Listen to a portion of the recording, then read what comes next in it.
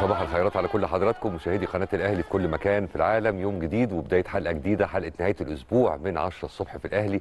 برحب بكل حضراتكم في بداية حلقتنا النهارده وأكيد عندنا كلام كتير هنتكلم فيه ولا سيما بعد ما فقدنا نقطتين غاليين غير النقطتين الغاليين اللي كنا فقدناهم قبل كده في ماتش الجونة. على كل الأحوال أكيد هنتكلم مع حضراتكم عن كل هذه التفاصيل بس قلنا نصبح عليكم الأول. صباح الفل.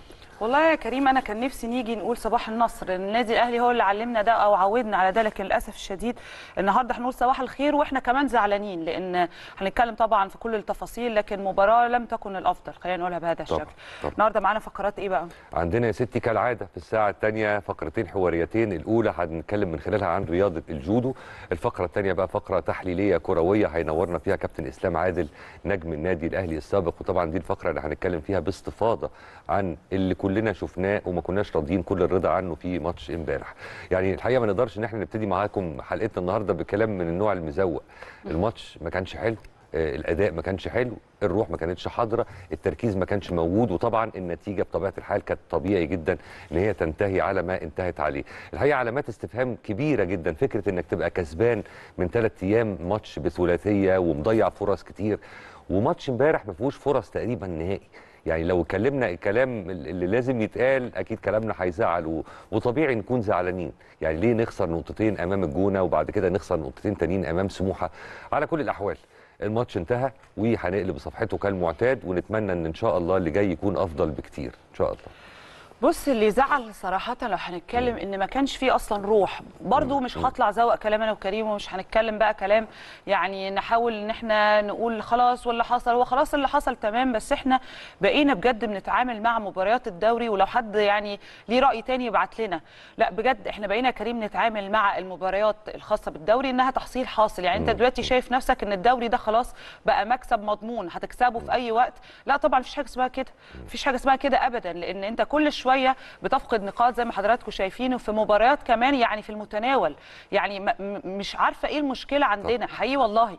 افتكروا كمان إن السنتين اللي خسرنا فيهم الدوري حضراتكم إحنا بسبب كان عامل كبير جدا الطمأنينة الزايدة الثقة الزايدة لاننا كنا يعني كسبانين وقتها بطولتين بطولة أفريقيا كمان وقتها. لكن أنت عندك أعتقد لأ أنا أعتقد الثقة الزايدة هي السبب بشكل كبير جدا.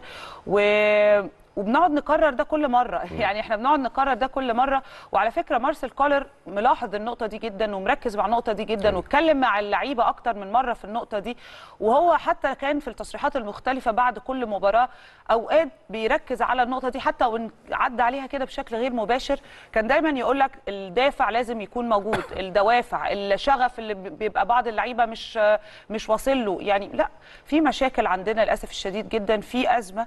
آه، أنا يمكن زعلانة شوية. أنا بزعل بصراحة. يعني أنا على الموضوع بيفرق معايا بشكل كبير خصوصا لما أنت يعني بتبقى مش عامل اللي عليك خالص. عارف أنت لو خسرت يا كريم أو تعادلت مثلا بس أنت مقدم فنيا اللي عام اللي تقدر عليه الواحد ما بيزعلش. لكن صحيح. بصراحة يعني المباراة امبارح لا راحت سكة تانية تماما. أنا حتى كنت امبارح بتكلم ونزلت أنا الفيديو اللي كنا بنتكلم فيه امبارح في اللينك على آه، الأهلي وسموحة وقلت توقعات وسألت الناس. آه. ده أنا حتى قلت 2-0 يعني ال- الواحد ما كانش ابدا متخيل إن إحنا ممكن آه، ما نكسبش ما نحصلش على النقاط اللي إحنا عايزينها. لا ده لا يقلل من سموحه. بس إحنا كنا فاهمين كابتن أحمد سامي هيلعب إزاي وكنا آه، قاريين القصة إزاي. وكابتن أحمد سامي ما بعدش على فكرة بس هو فعلا خلينا نقول أدار المباراة بشكل فعلا جيد جدا أمام النادي الأهلي. خلينا نروح نسمع تصريحات كولر ونرجع نكمل. Drin, wenn der Schiedsrichter pfeift, muss ich den Ball liegen lassen. Wenn ich dann den jedes Mal noch wegkicke, äh, ist normal eine gelbe Karte. Ich weiß nicht, ob das äh, besprochen wird. Es ist eigentlich immer das Gleiche. Es hat nichts jetzt äh, mit, äh, nur mit dem Spiel heute zu tun, sondern ich habe das auch im letzten Jahr schon mal erwähnt. Ist dann vielleicht ein bisschen besser geworden, aber jetzt ist ähm, eigentlich wieder genau das Gleiche. Ähm, gut. في في في الاول بس ملحوظه عايز اقولها او سؤال بطرحه هل رئيس لجنة الحكام البرتغالي هل هو فعلا بيقعد مع الحكام يتناقش معاهم الحالات؟ يعني هل في عملية للمناقشة بينهم أو تطوير أو تحسين؟ أصل الحاجات كلها بقت بتتكرر هي هي. في حاجات قواعد في الكورة واضحة في كل حتة في العالم. ما أعرفش أنا بتفضل هي هي طول الماتش ما بتتنفذش ليه. لما لعيب يشوط الكورة وبعيد عن عن اللعب أو كده أو يضيع بيها وقت أو كده وما ياخدش إنذار. أنا أنا ما أعرفش ده ده طبيعي؟ أكيد المفروض الكور دي يتم النقاش فيها. في لاعب النهارده كان المفروض إن هو ياخد كارت أحمر. ما فيش. طب ما ما فيش حد بيتناقش في الحاجات دي؟ ولا الحاجات دي بتعدي كده؟ ولا هو بيقعد معاهم؟ لأن أنا ملاحظ إن الموضوع بادئ من السنة اللي فاتت يعني في أول الموسم كان ماشي كويس وبعدين حصل تغيير وبعدين بدأت الدنيا ترجع تاني مش أحسن حاجة. كان في تحسن طفيف السنة اللي فاتت. في وسط الموسم كده لكن في الآخر برضو بدأت كده العملية ما تبقاش أحسن حاجة والسنة دي الموضوع مكمل. بشكل باخطاء آه، غريبه جدا ومتكرره عمليات تضييع الوقت بقت بشكل فج جدا وما بقاش لطيف خالص وهكذا بس ده ده نقطه كده في الأول كنت حابب بس سؤال بطرحه كده للنقاش يعني Wir haben äh, erste Halbzeit äh, zu wenig äh, konkret gespielt. Wir haben die eine oder andere Möglichkeit gehabt, aber konnten kein Tor schießen. Wir haben zweite Halbzeit haben wir praktisch auf ähm, ein Tor gespielt und es ist natürlich schwer, ähm, wenn äh, zehn Mann oder äh, neun Mann am, am 16er stehen, die richtige Lücke zu finden. Wir haben da auch dann äh, zu wenige Lösungen gefunden, um ein Tor zu erzielen und so ist das äh, Spiel dann äh, nur noch ausgegangen. الشوط الاولاني ما كناش محددين قوي او ما كناش عندنا القوه الكافيه في الشوط الاولاني آه، خلقنا آه فرص لكن ما حرزناش أهداف لكن كان المفروض ندي أكتر من كده. الشوط الثاني الماتش قلب ان هو بقى بنلعب في اتجاه واحد بس. يعني الماتش كله كما نكون بنلعب على جون مشترك بنلعب على جون واحد طول الماتش. آه، بيبقى في صعوبة لما فرقة تلعب بتسعة جوه ال 18 بتبقى الثغرات بتبقى قليلة المساحات بتبقى قليلة. بتحاول تلاقي حلول. للأسف إحنا ما لقيناش حلول وأضعنا كام فرصة لكن ما لقيناش حلول كافية إن إحنا نكسب. وللأسف الماتش طلع بالنتيجة دي. طيب ده كان جانب من التصريحات اللي أدلى بيها مستر مارسيل كولر متجاهما في المؤتمر الصحفي عقب الصحفي عقب انتهاء المباراة امبارح. وطبعا كل يعني الملاحظات اللي هو وقف عندها أكيد كلها في محلها وإن كان جمهور النادي الأهلي نقدر نقول إن هو حقيقة حتى ما وقفش عند التفاصيل دي لأن هو كان ملهي فيما هو أبعد من كده بكتير. واللي أبعد من كده بكتير أنا مش عارف حضراتكم ممكن تبقوا شايفينه إزاي نهاوند مثلا استنتجت إن هو ثقة زايدة وده قد يكون فعلا كلام مظبوط. ممكن حد تاني يشوفها قلة تركيز ممكن حد تالت يشوفها تراخي. النتيجة واحدة لكن إحنا عندنا مشكلة ولازم نشتغل عليها وبأسرع وقت ممكن عشان نحافظ على الصدارة ونحافظ على السيطرة وعلى الهيمنه ومن أولها. لأن إحنا قبل كده عدت علينا مواسم سابقة فقدنا فيها لقب الدوري لا لشيء غير لأن كان فيه على مدار الموسم نقدر نقول إيه نزيف نقاط ما كانش ليه أي لازمة الحقيقة فإحنا مش عايزين السيناريو ده يتكرر وإحنا لسه في الأوائل هنرجع ونقول ولسه في أكيد مساحة وقت كافية لتصحيح الأخطاء في حال وجود أخطاء قد نكون إحنا اللي فاهمين غلط بس إحنا في الآخر ما بنقيمش غير اللي إحنا شايفينه لا ما تهيأليش. إحنا فاهمين غلط يا يعني. كريم لأن في حاجات واضحة بشكل كبير جدا يعني أنت عندك مشكلة آه، في مشاكل فنية كمان واضحة جدا مش كل ده محتاج لازم ان. يبقى فيها يعني رأي آخر ما بتستغلش الفرص آه، الكرات الثابتة عندك فيها مشكلة الفينال عندك فيه مشكلة آه، لا يعني لا إحنا إهدار فرص آه، مستمر معانا من الموسم الماضي لكن لا يعني ودي ما من أكتر الأمور اللي لازم تتظبط ما نقدرش نقول ما فيش أخطاء فنية لا في أخطاء فنية إحنا ما قلناش. إن مفيش أخطاء أيوة، فنية، أنا بس فاهمة. ال- كل واحد برضو اي خلي بالك إن هو انت عارفة الرؤ- الرؤى ممكن تختلف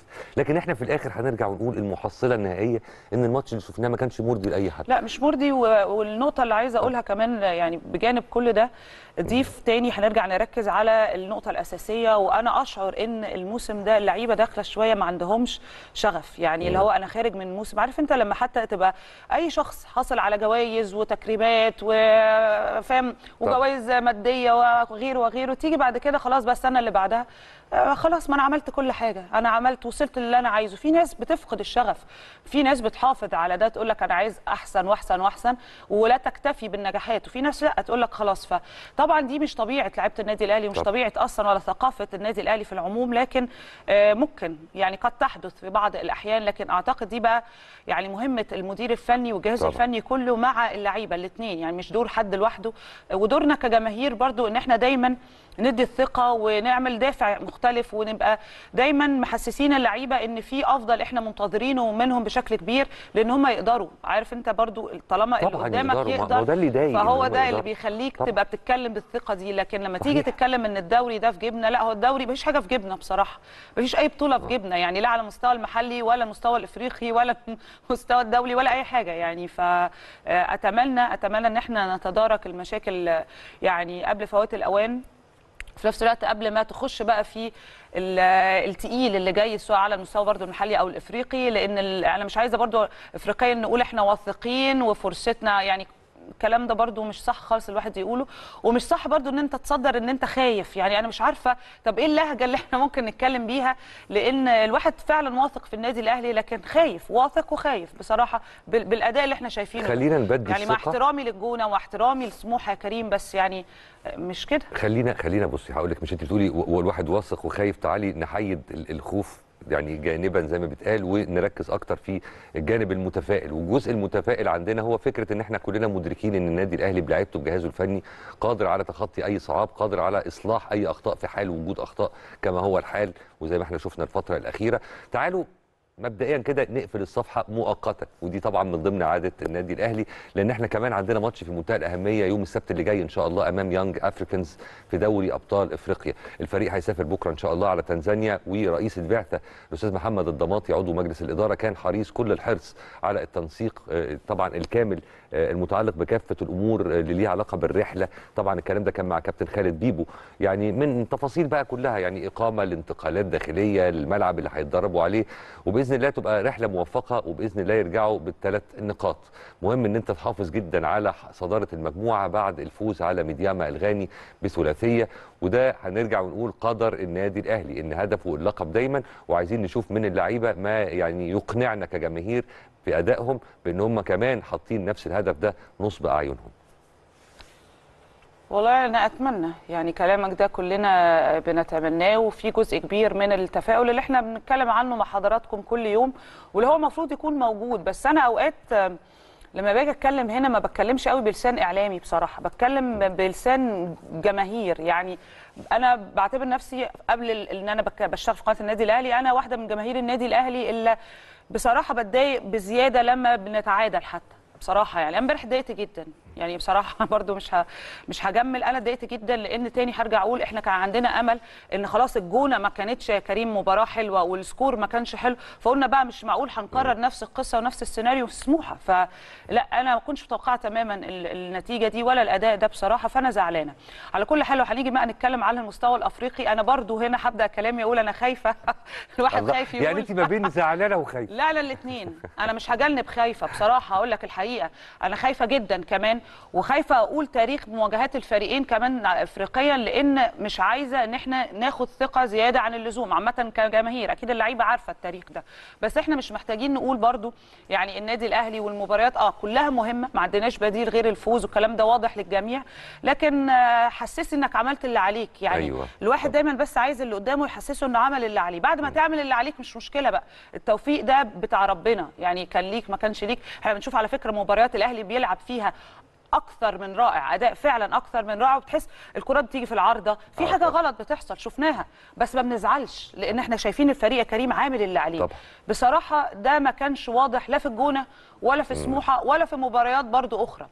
على كل حال تاريخ مواجهات هنا هتكلم الأهلي يعني مع يانج افريكانز أكيد برضو هي لصالح النادي الأهلي 10 مباريات فاز فيهم في تعادل عفوا هم 10 مباريات فاز في 6 وتعادل في 3 وخسر مرة واحدة. لكن برضو خلينا نرجع تاني ونقول إن المنافس خسر أول مبارياته ومحتاج إن هو يعوض في الماتش اللي جاي بأي طريقة. وتاني هنرجع نقول أي فريق دلوقتي بقى يلعب النادي الأهلي على المستوى الإفريقي أو المستوى المحلي بقى التصريحات اللي انت بتسمعها قبل المباراة يقول لك إيه، إحنا عندنا أمل كبير للفوز على النادي الأهلي. شفناها في ميدياما المدير الفني ميدياما.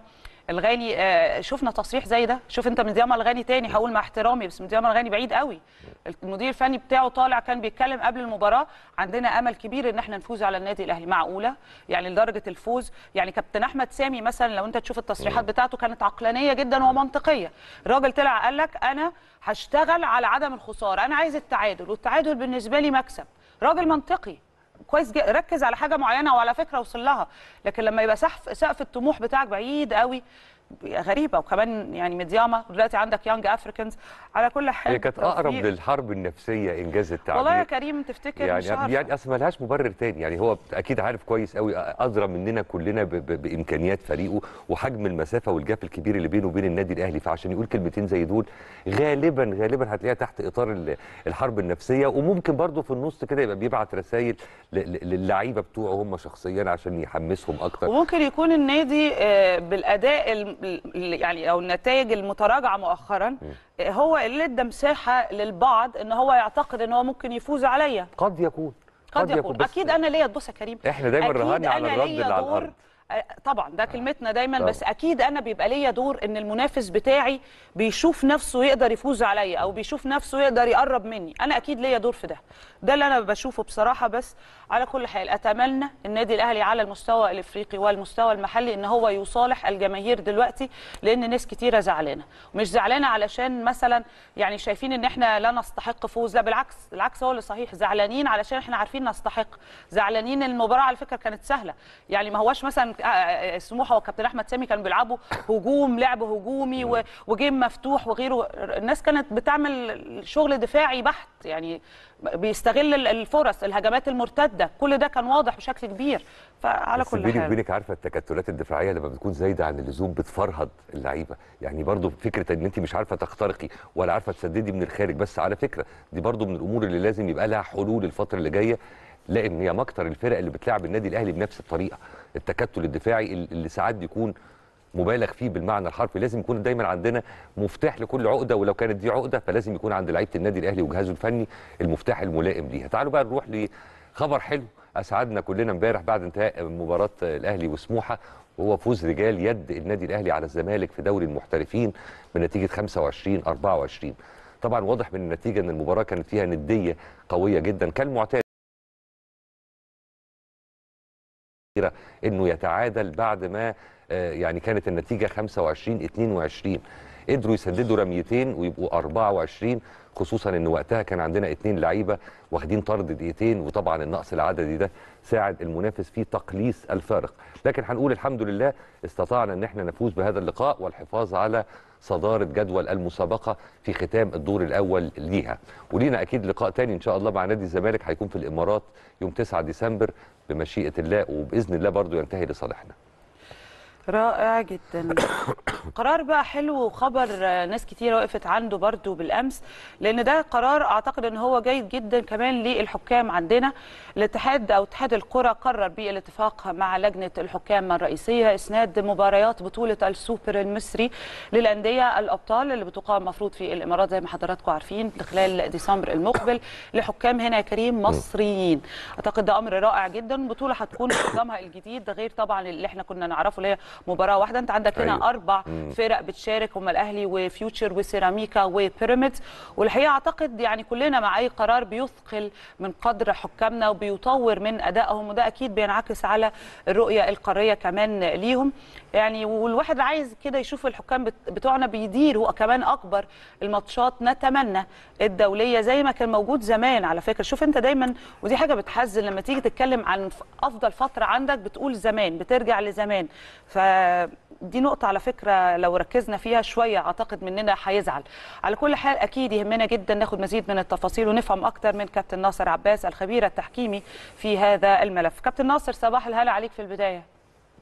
صباح الخير على حضرتك نهواند صباح الخير عليك كريم وعلى كل مشاهدي قناة النادي صباح الاهلي الفل يا فندم منورنا وسعداء بوجود حضرتك معانا. وخصوصا إن الملف ده يعني مليان تفاصيل إحنا شخصيا بنتكلم عنها تقريبا يعني ما فيش حلقة غير لما بنتكلم فيها عن التحكيم. فبداية حضرتك يعني كيف آه، رأيت قرار اتحاد الكورة بإسناد ماتشات السوبر لحكام مصريين؟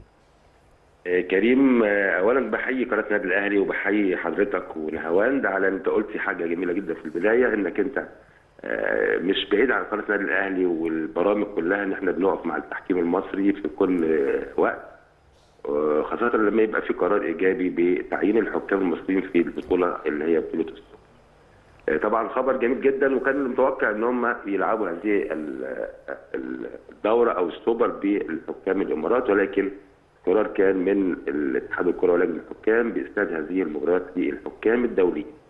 هقول للحكام الدوليين آه، يا نهوان ويا كريم إحنا شفنا الفترة اللي فاتت إن الحكام الدوليين آه، آه، تم إسناد ليهم مباراه في تصفيات كأس العالم الأخرانية وفي دوري الأبطال يمكن شفنا أكثر من طاقم تحكيمي موجود صحيح. بشكل جيد وكان قدموا مردود طبعا مردود طيب جدا سواء كان الحكم محمود البنا أو أمين عمر أو محمد معروف. كل الأطقم التحكيمية نجحت في الفترة اللي فاتت. فالطبيعي إنك أنت تسند هذه البطولة أو السوبر للحكام المصريين لمزيد من الثقة ويعني يبقى عندهم المردود ويبقى عندهم ثقة في إن هم يديروا كمان مباراة في الاتحاد الأفريقي أو تصفيات كأس العالم. آه، دي نقطة مهمة جدا نتمنى طبعا ليهم التوفيق في هذه البطولة لأن أكيد أكيد نجاح الحكام في البطولة ديت آه، هيكون آه، آه، شيء مهم جدا في تعييناتهم في مباراة الاتحاد الأفريقي سواء كانت دوري الأبطال أو الكونفدرالية. جميل النقطة المهمة جدا الثانية يا يا كريم إحنا بنتكلم طبعا إن إحنا النادي الأهلي وقناة النادي الأهلي دايما عاوزين يبقى التحكيم في أحسن حاجة. ده مهم جدا جدا آه، وبالتالي أي حلول عندنا بنقدمها من خلال ال- البرامج اللي عندنا آه، سواء كان في تطوير أداء الحكام أو آه، في النهوض بمستوى أداء التحكيم. وأنا مش هتكلم على مباراة امبارح ولكن يعني يمكن ما فيش فيها أخطاء مؤثرة قوي. ولكن يعني مزيد من ال- ال- التوضيح يا كابتن كريم إحنا بنتكلم في مباراة أمس. يمكن أنا عندي حالة تحكيمية أنا هود عاوز أقف عن- عندها. مهمه قوي.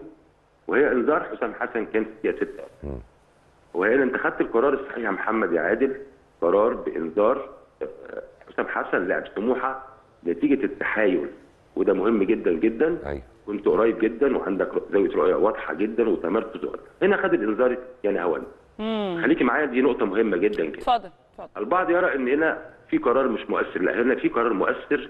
هنشوف بعد الإنذار خلاص. وهنا محمد الشناوي بيحط الكرة عشان يستأنف اللعب شوف هنا تصرف حسام حسن. شاط الكرة بعد الصفار. هنا بنتكلم في هذه الحالة في القانون ده اسمه سلوك غير رياضي. مش معنى ان أنا مديك انذار اتوقف عن البطاقة الثانية أنا بتكلم كتحكيم يا نهاوند وماليش علاقة بأداء النادي الأهلي. أيوه أيوه. هنا انت حصلت على البطاقة الصفراء في الدقيقة 46 من الشوط الأول. ثم ارتكبت فعل آه، آه، بنقول عليه سلوك غير رياضي انك انت لعبت الكرة بعد الصفاره هنا أوتوماتيك على طول. سؤال لو هذه الحالة في نص الملعب واللاعب ده ما عندوش انذار كنت أكيد هتدي الانذار يا محمد لحسام حسن. صحيح. ولكن انت هنا مش عاوزين نقول في حسابات ولكن هنا الراجل بيحمل البطاقة الصفراء ارتكب سلوك وهو سلوك غير رياضي يعني مش عاجبه القرار وهنا لعب الكرة الصفار يمكن هنا مستر الكره اتكلم في النقطة دي مهمة قوي وهنا هنشوف تاني هنا يعني أنا قدام الحكم وبشوط يعني أنا مش عاجبني الإنذار. آه باينة باينة جدا.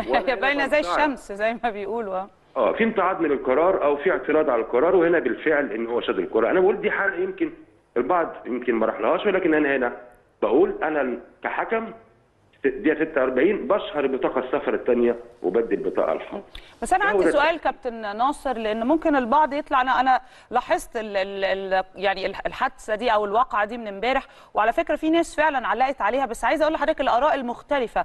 البعض كان بيتكلم إن ده عادي بيتم حتى في الدوريات الكبرى وبتلاقي اللعيبة متعصبة. طالما هو ما عملش حاجة أو ما ما دخلش في يعني عراق مع حد هو شاط الكورة حرك إيده يعني كلها حركات بتبقى مقبولة قانونا طالما هو ما أذاش حد. يعني هل الكلام ده أصلا صحيح كمان ولا لأ؟ آه، عندنا في القانون يعني هو في حاجة اسمها الاعتراض على قرار الحكم أو الامتعاض من قرار الحكم. وده موجود في القانون أصلا. يعني إيه الاعتراض على قرار الحكم؟ اعتراض على- قرار الحكم إن إن الحكم بيدي قرار. حكم بيروح يعترض سواء بالقول أو بالفعل أو بالتشويح أو بأي شيء بنقول عليه سلوك رياضي طب هقول لك على مفاجأة ثانية ولو عندنا الدقيقة 65 يتكرر نفس هذا السيناريو من نفس اللاعب. أنا مش محمل على الحكم ولا حاجة ولكن بنقول إيه يجب إن يكون هناك معايير واحدة للاعبين. أنا النهارده سبته في الدقيقة 46 نفس اللاعب في الدقيقة 65 قرر هذه الحالة. يمكن أنا بقول لحضرتك مستر الكره اتكلم فيها مرتين في المؤتمر. طيب أنا النهارده لما لاعب عنده إنذار وبيقرر إن هو يلعب الكرة بعد القرار. في الحالات اللي زي كده يا كابتن ناصر الموضوع بيمشي إزاي؟ هل بتبقى الم- المساله تقديرية بحتة من الحكم ولا طبقا للوائح والنظم والقوانين لازم كان يشهر مثلا ال- الكارت الأصفر الثاني مثلا؟ لا هنا مفيش اجتهاد يا كريم. أنا بقول هنا مفيش اجتهاد ليه؟ مفيش حسابات في هذه الحالة. أصعب شيء على الحكم إنك أنت يعني شخصية الحكم مهمة جدا يا كريم خلي بالك. آه، التصرف ده دوت دوت يمكن أنت ممكن تتغاضى عن أي شيء إلا إنك أنت يعني آه، آه، تتغاضى عن لاعب لا يحترم القرار. لاعب لا يحترم القرار مفيش حاجة اسمها إدارة المباراة. هنا مفيش إدارة المباراة مفيش حاجة اسمها إن هو عنده إنذار ما يخش الإنذار الثاني أنا بقول إيه؟ أنا النهارده أنت عندك إنذار وأنت عارف كويس قوي إن هذه الحالة إنك أنت تلعب الكرة بعد الصفار ده اسمه است... آه يعني آه، تعطيل اللعب وعدم احترام قرار الحكم. آه هو مفيش خطأ في منطقة الجزاء مؤثر. ولكن أنا بقول النهارده سؤال سؤال. هنلاحظ يا كريم يا نهوان في كثير من المباريات هنلاقي إن أي لاعب بيلعب اللعبة ديت بياخد إنذار عليه. ده السؤال اللي هنا. طب هنا ما خدش إنذار ليه؟ دي حالة من الحالات المهمه آه، النقطة الثانية وإحنا قلنا دايما بنحاول نطور من أداء الحكام. آه، عندي مفاجأة كبيرة جدا جدا يا نهوان في موضوع الحكام بتلعب كام مباراة في الشهر؟ آه. ودي نقطة مهمة جدا. يعني هل تتخيلي النهارده حضرتك يعني من غير المعقول ابدا ابدا إن الحكم يلعب مباراة كل 60 يوم أو 50 يوم. دي مشكلة كبيرة. يعني قلنا دايما الحكم زي زي اللاعب، النهارده لو أنا النهارده بلعب كل مباراة بعد 50 يوم أو 40 يوم طب أنا إزاي النهارده هجيب اللياقة بتاعتي؟ لابد من أنا بقول أهو رسالة لفيتور برير. آه، لابد إن لجنه الحكام تبحث إزاي إن الحكام دي ما ينفعش أنا أقعد 50 يوم ألعب مباراة كل 50 يوم إزاي. ومطلوب مني يعني ده ده بيأثر بالسلب على آه، لياقتهم التحكيمية إنجاز التعبير. ده أكيد أكيد أكيد أكيد أكيد جدا. أنا النهارده زي زي اللاعب النهارده ما ينفعش اللاعب النهارده يلعب مباراة أيضا كل 60 يوم يا كابتن كريم. هنا لابد إن لجنة الحكام تبحث عن الحلول لأن النهارده في لياقة المباريات للحكام اللياقة البدنية واللياقة الذهنية ماشي يا كابتن ناصر هو ده راجع لإيه برضه؟ هل ده راجع لعدم الاختيار راجع لعدم الثقة؟ يعني آه، فكرة عدم مشاركة الحكام المصريين في العديد من المباريات والجاب الموجود ده برضه راجع لإيه بالظبط؟ هقول لحضرتك بالتفصيل إيه اللي حصل يا نهوان. هو النهارده الراجل عمل تصنيف للحكام.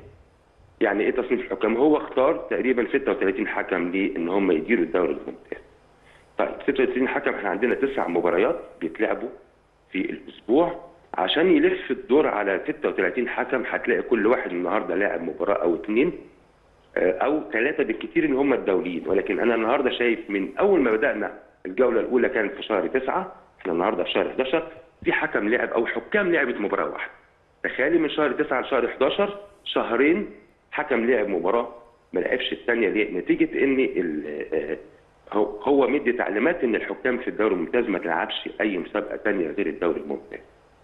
يعني ما يقدرش الحكم يلعب في دوري المحترفين ولا يقدر يلعب في دوري الممتاز به ولا أي بطولة يلعبها، اذا هو ما عندوش ابدا حلول غير إن الحكم يلعب في الدوري الممتاز فقط وبالتالي هنلاقي إن الحكم بيلعب مباراة واحدة كل 30 أو 40 يوم. بس أعتقد ال- النظام ده المفروض إن بيريرا يعني آه، تحدث عن تعديله وتغييره بشكل كبير جدا ومشاركة الحكام المصريين بشكل أكبر كمان أو تحديدا في مباريات القمة اللي كنا بنعتمد فيها على خبرات أجنبية وخبرات عربية في السابق يعني. فبالتالي ده ممكن شوية يغير كابتن ناصر؟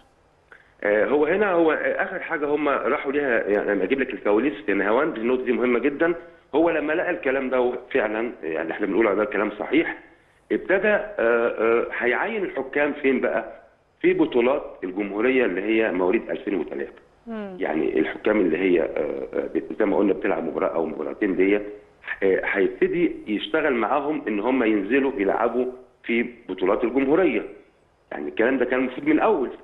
ما نجيش النهارده ناخد القرار. أنت قلت في البداية إن إحنا مش هنخلي أي حكم فوق ينزل تحت. هو آخر حاجة وصلوا ليها لجنة الحكام إن هم هيسندوا للحكام الدوري الممتاز إن هم ينزلوا يلعبوا مباريات اللي هي بطولة الجمهورية اللي هي بتبقى 2003 عشان تبقى نوع من نوع التدريب ليهم آه، ما يقعدوش فترة آه، كتيرة آه، آه، آه، يعني آه، آه، بعيد عن الساحة يعني. بعيد عن الافتتاح ده نقطة. مهمة جدا وإحنا بنتكلم وأنا بقول حاجة مهمة يعني زي ما حضرتك إحنا بنطور أداء الحكام لابد إن إحنا نشتغل على نقطة إن الحكم ما يقعدش 60 يوم ما يلعبش مباراه صحيح. آخر نقطة بقى وأنا بقولها أهوت تاني بنقولها وإحنا بنقول دايما هنا يا كريم آه، وأنا نهوان إحنا نصائح للجنة إحنا مع التحكيم المصري آه، دايما بنقول إن مش هيبقى يعني آه، ينفع ابدا إن تطوير أداء الحكام يبقى يعني فقط آه، عن طريق برنامج زوم. يعني هو هو كابتن ناصر بعد إذن حضرتك هو إلى أي درجة مبدأ الثواب والعقاب متحقق في حالة ال- التحكيم؟ بمعنى إن الحكم اللي يجيد إدارة مباريات آه، يعني تتم مكافئته والعكس الصحيح. يعني لما يكون في حد فيه تقصير آه، في آه، غض طرف عن أمور معينة واضحة بشكل يعني كبير جدا قدام كل الناس. يعني إحنا الفترة اللي فاتت اتعرضنا وأنا هنا على فكرة مش بتكلم بس عن النادي الأهلي لأن لما لما تنصلح الأحوال تحكيميا ده في مصلحة كل الفرق لفكرة إحقاق الحق بشكل عام مش بس لصالح نادي بعينه. فإلى أي درجة في عقوبات بتقع على بعض الحكام في حالة التقصير؟ هو بالفعل كابتن كريم وإحنا بنقول الحق هنا إن هو فعلا الراجل بي يعني بيشتغل بمبدأ الثواب والعقاب ودي مهمة جدا. آه، إحنا قلنا دايما هو بيقول ال- الحكم اللي بيبقى آه، ليه أخطاء مؤثرة. أعتقد ده بيتم توقيفه أربع أسابيع. يعني أربع أسابيع بي- بيتم إيقافه عن إن هو يلعب في المباريات. آه، مش عقاب ولا حاجة ولكن هو آه، يعني هو بيطلب من الحكام إن هم يهتموا ويركزوا. وهو قال كده الحكم اللي هيبقى كويس هيلعب ودي هو بيطبقها حقيقي طبعا بيطبقها بشكل كويس. شفنا حكام اتوقفت من الأسبوع الأول حتى هذه اللحظة أو الأسبوع الثاني لم يديروا أي مباراة في الدوري الممتاز. آه، ده كلام جميل ولكن في نقطة مهمة أنا بقول عليها إيه؟ آه، آه، النهارده هو بيعمل يا نهوان كل الاجتماعات أو غالبية اجتماعاته مع الحكام سواء تصحيح الأخطاء في الحالات التحكيمية عن طريق Zoom اللي هو meeting مع الحكام لا أنا بقول من فضلك التطوير أداء التحكيمي الأهم هو إن حضرتك تنزل ميدان اللعب مع الحكام. يعني إيه؟ يبقى في تدريب عملي للحكام آه، مع لجنة الحكام بتنزل تصحح الأخطاء التحكيمية. هو هو كابتن ناصر مش إحنا خلصنا من موضوع زوم ده؟ كان مشكلة مع كلاتنبرج وبعد كده قلنا إن بيريرا مش هيبقى عنده هذه الأزمة لأن العقد بتاعه بيتطلب إن هو يبقى متواجد مع الحكام هنا على الساحة. يعني مش إحنا قلنا الكلام ده ولا إيه؟ إحنا قلنا قبل كده يا نواد وقلنا وقلنا يعني هقول لك على حاجة يا نواد يمكن أنا مش بعيد عن التطوير التحكيمي أنا اشتغلت كتير جدا في التطوير سواء كان في الاتحاد الدولي أو الاتحاد الأفريقي أو الاتحاد المصري. عشان تعمل حكم كويس وتخليه يبقى واقف على رجليه أكتر شغل بيتعمل مع الحكم هو إنك أنت تنزل بيه الملعب. أكيد يعني أكيد فرق. كبير جدا يعني عن إن أنا أقعد ع- من خلال زوم يعني ما أعتقدش زوم يعني وسيلة جيدة ابدا كانت أزمة حقيقية مع يعني كلاتنبرج هو- أصلا.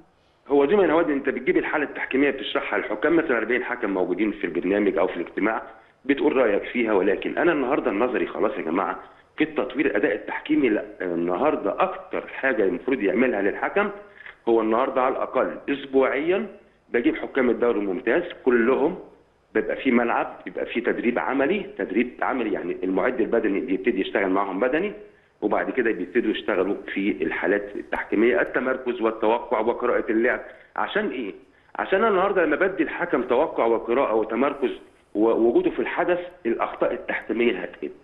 ولكن زوم أنا النهارده بديله نظري. لا لابد إن يكون في نظري ويكون عملي والعملي يكون أكتر من آه، النظري. ده لو إحنا عاوزين يبقى الأداء التحكيمي ماشي بشكل والله يا كابتن ناصر أنا شايف إن حضرتك لازم تيجي تنورنا ونعمل حلقة كاملة عن الملف التحكيمي وتبقى موجود معانا وتشرفنا في الاستوديو بإذن الله.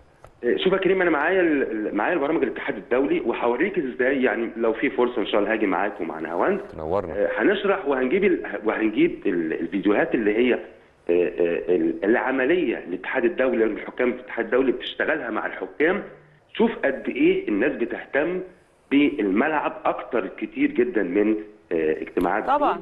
طبعا. وهوريك وهوريك حاجات جمل تكتيكية بتتعمل للحكام. بيجيبوا مثلا فريقين نهاوند من الشباب ويبتدوا يخلوا الحكام ينزلوا يحكموا ويقفوا يصححوا الأخطاء. هو ده الشغل التحكيمي المفروض إن إحنا نعمله في الفترة اللي جاية لو إحنا عاوزين نطور أداء التحكيم والله طبعا هو ده الشغل لازم يتم وهو ده الشغل اللي إحنا على أساسه أصلا كنا جايبين خبرات أجنبية أو خبرة أجنبية واستعنا بيها على أساس إن يتم تطبيق ده أصلا على الأرض عندنا في مصر يعني كابتن ناصر عباس الخبير التحكيمي بنشكرك جدا وفعلا علامة استفهام يعني أنا دلوقتي استعنت بخبرات أجنبية ودافع رقم على فكرة مش صغير علشان أفضل بشتغل بنفس ال system القديم طيب ما هو ولا الراجل علشان الراجل كان. بيطور بيطور من خلال Zoom وبيقبض اونلاين والدنيا حلوة لا لا لا. لا, لا الدنيا مش حلوة خالص وكانت دي يعني عارف يعني طبعا هو آه، يمكن من في فترة ما بيكون من خلال Zoom لكن الأساس لازم فعلا يكون متواجد. بس أنا مش عارفة ليه عندي ثقة برضو في بيريرا بشك- بشكل كبير بصراحة لأن بشوف التصريحات بتاعته وعاجبني إن هو قوي الشخصية جدا على فكرة.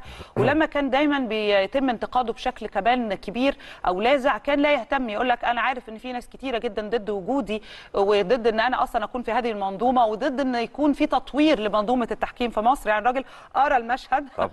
بس أنا مستمر ومركز في هدفي. التصريح ده بالنسبة لي نال احترامي على طول لأنه راجل مش فارق معاه بس هو جاي لهدف معين. بس طبعا زوم وغيره يعني حاجة أنا أنا أنا أقول لك عني أنا ما بفهمش حاجة من Zoom. يعني يقول لك course online مش عارفة أنا ما بفهمش حاجة. لازم تبقى قاعد قدامي كده عشان أعرف أستوعب. هنقول يا ستي إيه ربنا يثبت أقدامه. أصل خلي بالك أي خبير أجنبي وأنا هنا مش بتكلم على التحكيم ولا على الكورة بتكلم بشكل عام. يعني ساعات كتير الخبراء الأجانب لما يجوا يشوفوا نوعية ال- المعضلة اللي هم جايين عشان يحلوها ويتفاجئوا بإن في ناس كتير أو جهات أو كيانات أو أفراد مش من مصلحتهم إن الحال ينصلح فالناس دي بتتعجب ال- النقطة دي حلوة جدا وخصوصا ويأكد كلامنا ده إيه يا كريم إن مثلا مثلا كلاتنبرج لما جه الراجل ده عمل نجاحات قبل ما يجي مصر في اليونان وقلنا صحيح. في السعودية وليه صحيح. نجاحات كانت في دول مختلفة صحيح. وتمت على أفضل شيء يعني ما هوش مثلا مشكلة في الاختيار عشان نقول مثلا لا الراجل كان السي في بتاعه مش قوي لا هو عمل نفس التجربة دي ونجحت في دول تانية سواء دول عربية أو دول أوروبية عندك ما نجحش الراجل ما كملش أصلا ف- فالمشكلة أعتقد مش عند عنده هو. المشكلة يمكن في آه، أمور عدة يعني مش وقته دلوقتي أو يعني مش هيبقى وقته خالص إن إحنا نتكلم لأن لو اتكلمنا لازم إحنا نتكلم بشفافيه فأنا رأيي بلاش نتكلم أحسن بس نتمنى يكون في تغيير وتعديل على يعني الأرض في كل الجوانب الخاصة بالمنظومة الرياضية في مصر لأن فعلا فعلا زي ما أنت كنت بتتكلم واتكلمنا قبل كده تحس في علامة استفهام. ليه في بعض الأمور محلك سر؟ ليه في بعض الناس تحس إن هي مش عايزة يحصل تغيير؟ ده لصالح مين في النهاية؟ ما أعتقد لو أنت ما نجحتش كلنا هنتضر. يعني لو شخص ما نجحش في ملف معين آه، الضرر هيبقى علينا كلنا أصلا. ف صحيح. anyway. تعالوا بقى نروح لملف مختلف. أعلن الاتحاد الدولي للسكواش عن إقامة بطولة العالم للفرق للرجال في نيوزيلندا خلال الفترة من 11 إلى 17 ديسمبر المقبل. ومن المقرر إنه يضم المنتخب الوطني أعلى أربع لاعبين في التصنيف العالمي بالإضافة إلى لاعب خامس احتياطي. وبناء على كده من المقرر أن يضم منتخب فراعنة الاسكواش كل من علي فرج لاعب وادي دجلة والمصنف الأول عالميا مصطفى عسل لاعب النادي الأهلي والمصنف الثالث كريم عبد الجواد المصنف السادس ومازن هشام المصنف السابع بالإضافة إلى اللاعب الخامس اللي هو طارق مؤمن المصنف التاسع عالميا. منتخبنا طبعا بيحمل لقب بطولة العالم من النسخة الأخيرة وكان تحت قيادة كابتن أمير وجيه بجانب طبعا إن منتخب مصر متساوي مع المنتخب الإنجليزي برصيد خمس ألقاب. وطبعا بنأمل إن إن شاء الله البطولة القادمة تبقى يعني آه، نبقى إحنا أصحاب اللقب السادس فيها بإذن الله. عموما يعني الملف بتاع السكواش ده من الملفات ال- المبهجة جدا المشرفة جدا. خلونا نعرف كمان شوية تفاصيل أكتر من كابتن أمير وجيه شخصيا المدير الفني السابق لمنتخب السكواش والمستشار الفني للمشروع القومي للموهوبين في السكواش. كابتن أمير صباح الفل على حضرتك واهلا بيك معانا في 10 الصبح في الأهلي. صباح الفل. هذا كريم نهواند ان شاء الله يوم رياضي يعني حافل بإذن الله. أهلا وسهلا يا فندم. نورنا يا فندم. طيب بداية كده رؤية حضرتك إيه للبطولة القادمة خصوصا وإن آخر بطولة كانت تحت قيادة حضرتك الفنية؟ آه والله طبعا إحنا زي ما قلت أنت إحنا متساويين مع المنتخب الإنجليزي خمسة خمسة بس على الورق طبعا مصر أقوى لكن أنت عارف كل ماتش وليه ظروفه. يعني ال- الورق بيقول كلام إن إحنا مثلا عندنا مصنف أول ثالث سادس سابع زي ما ما ما شرحت في في الفريق. آه، بس طبعا في نواحي ثانية الناحيه الثانية فريق إنجلترا مثلا في الشربجيه دلوقتي الجناسه في إنجلترا. عامل نفسي هيبقى مثلا ضغط كبير من ناحيتين. طبعا في طبعا. في في طبعا منتخب متوازن جدا زي منتخب فرنسا. ال- الأربع لاعبين قريبين جدا من بعض وبيعملوا مفاجآت وسنهم صغير. فطبعا مفيش حاجة سهلة بطولة عالم. وانت حامل اللقب لازم تغلب كل الناس لازم تروح. والحمد لله رب العالمين إن الجهاز الفني اللي موجود على قدر المسؤولية. طبعا كابتن شمل العطار خبرة كبيرة. ورئيسه الوفد طبعا كانت من أبطال العالم أمنة ترابول سياده مجلس الإدارة. فأنا شايف إن شاء الله يعني إن شاء الله يعني الحمد لله يعني إن شاء الله يرجعوا بالكاس بإذن الله. طيب إحنا عندنا سؤال برضو كابتن أمير والسؤال ده في العموم يعني مش في الفترة دي تحديدا. آه، إيه سر من وجهة نظر حضرتك تفوق لاعبينا ولاعبتنا في الاسكواش وإيه سر تفوق مصر أصلا في الاسكواش على مدار الزمن وعلى مدار السنوات المختلفة والأجيال المختلفة؟ وخصوصا إن هي رياضة لا يعود أصلها أصلا يعني مثلا لمصر القديمة أو غيره. لا يعني في حاجة آه، محتاجين نفهمها. لو حضرتك عندك إجابة يعني. اتفضل يا فندم. طبعا دخلت مع الإنجليز في مصر زمان. و و و وإحنا لينا تاريخ ليها طويل جدا من الثلاثينات يعني إحنا مش بس مؤخرا آه، تاريخنا الآخر 25 سنة التفوق اللي هو العالمي اللي موجود دوت.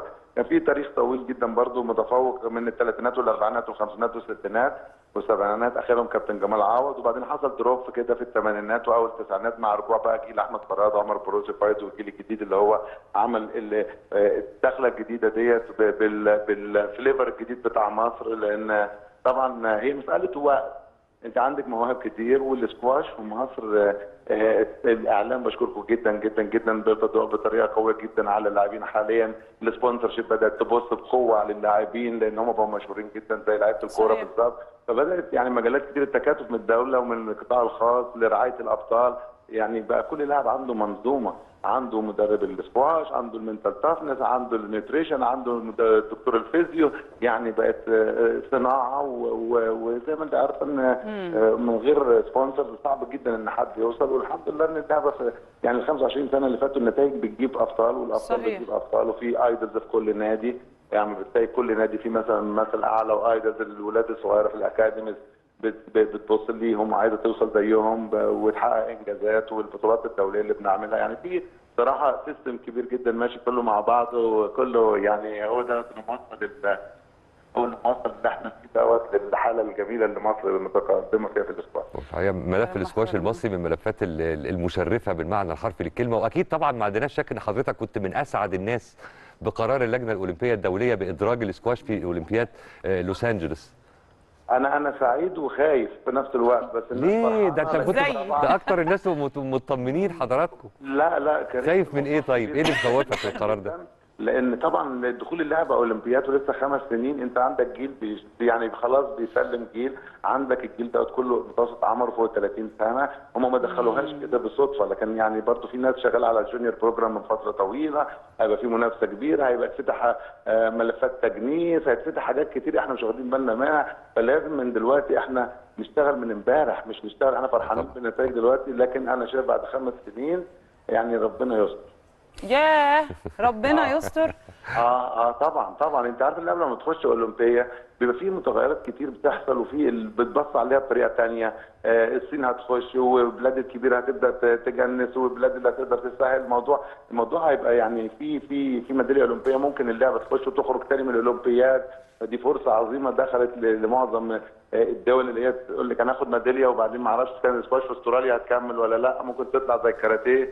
فيعني ربنا يسهل إحنا عايزين نشتغل من امبارح وعاوزين نعمل عقود آه، قانونية آه، دولية مع اللاعبين بحيث إن نضمن حقوقنا ونضمن إن اللعيبة اللي هنصرف عليها ونعدها دي بعد خمس سنين ما تسيبناش ومرة تلاقيهم bye bye فيعني الموضوع لازم ي... ما هو ما هي. بص هقول لحضرتك على حاجة يا كابتن أمير خلينا نتكلم بصراحة تمام آه، اللاعب عمره ما هيجي يقول bye bye للاتحاد أو لبلده وال- والجماهير وال يعني والأهل وكل الناس اللي وثقت فيه وساعدته إلا لو في أسباب.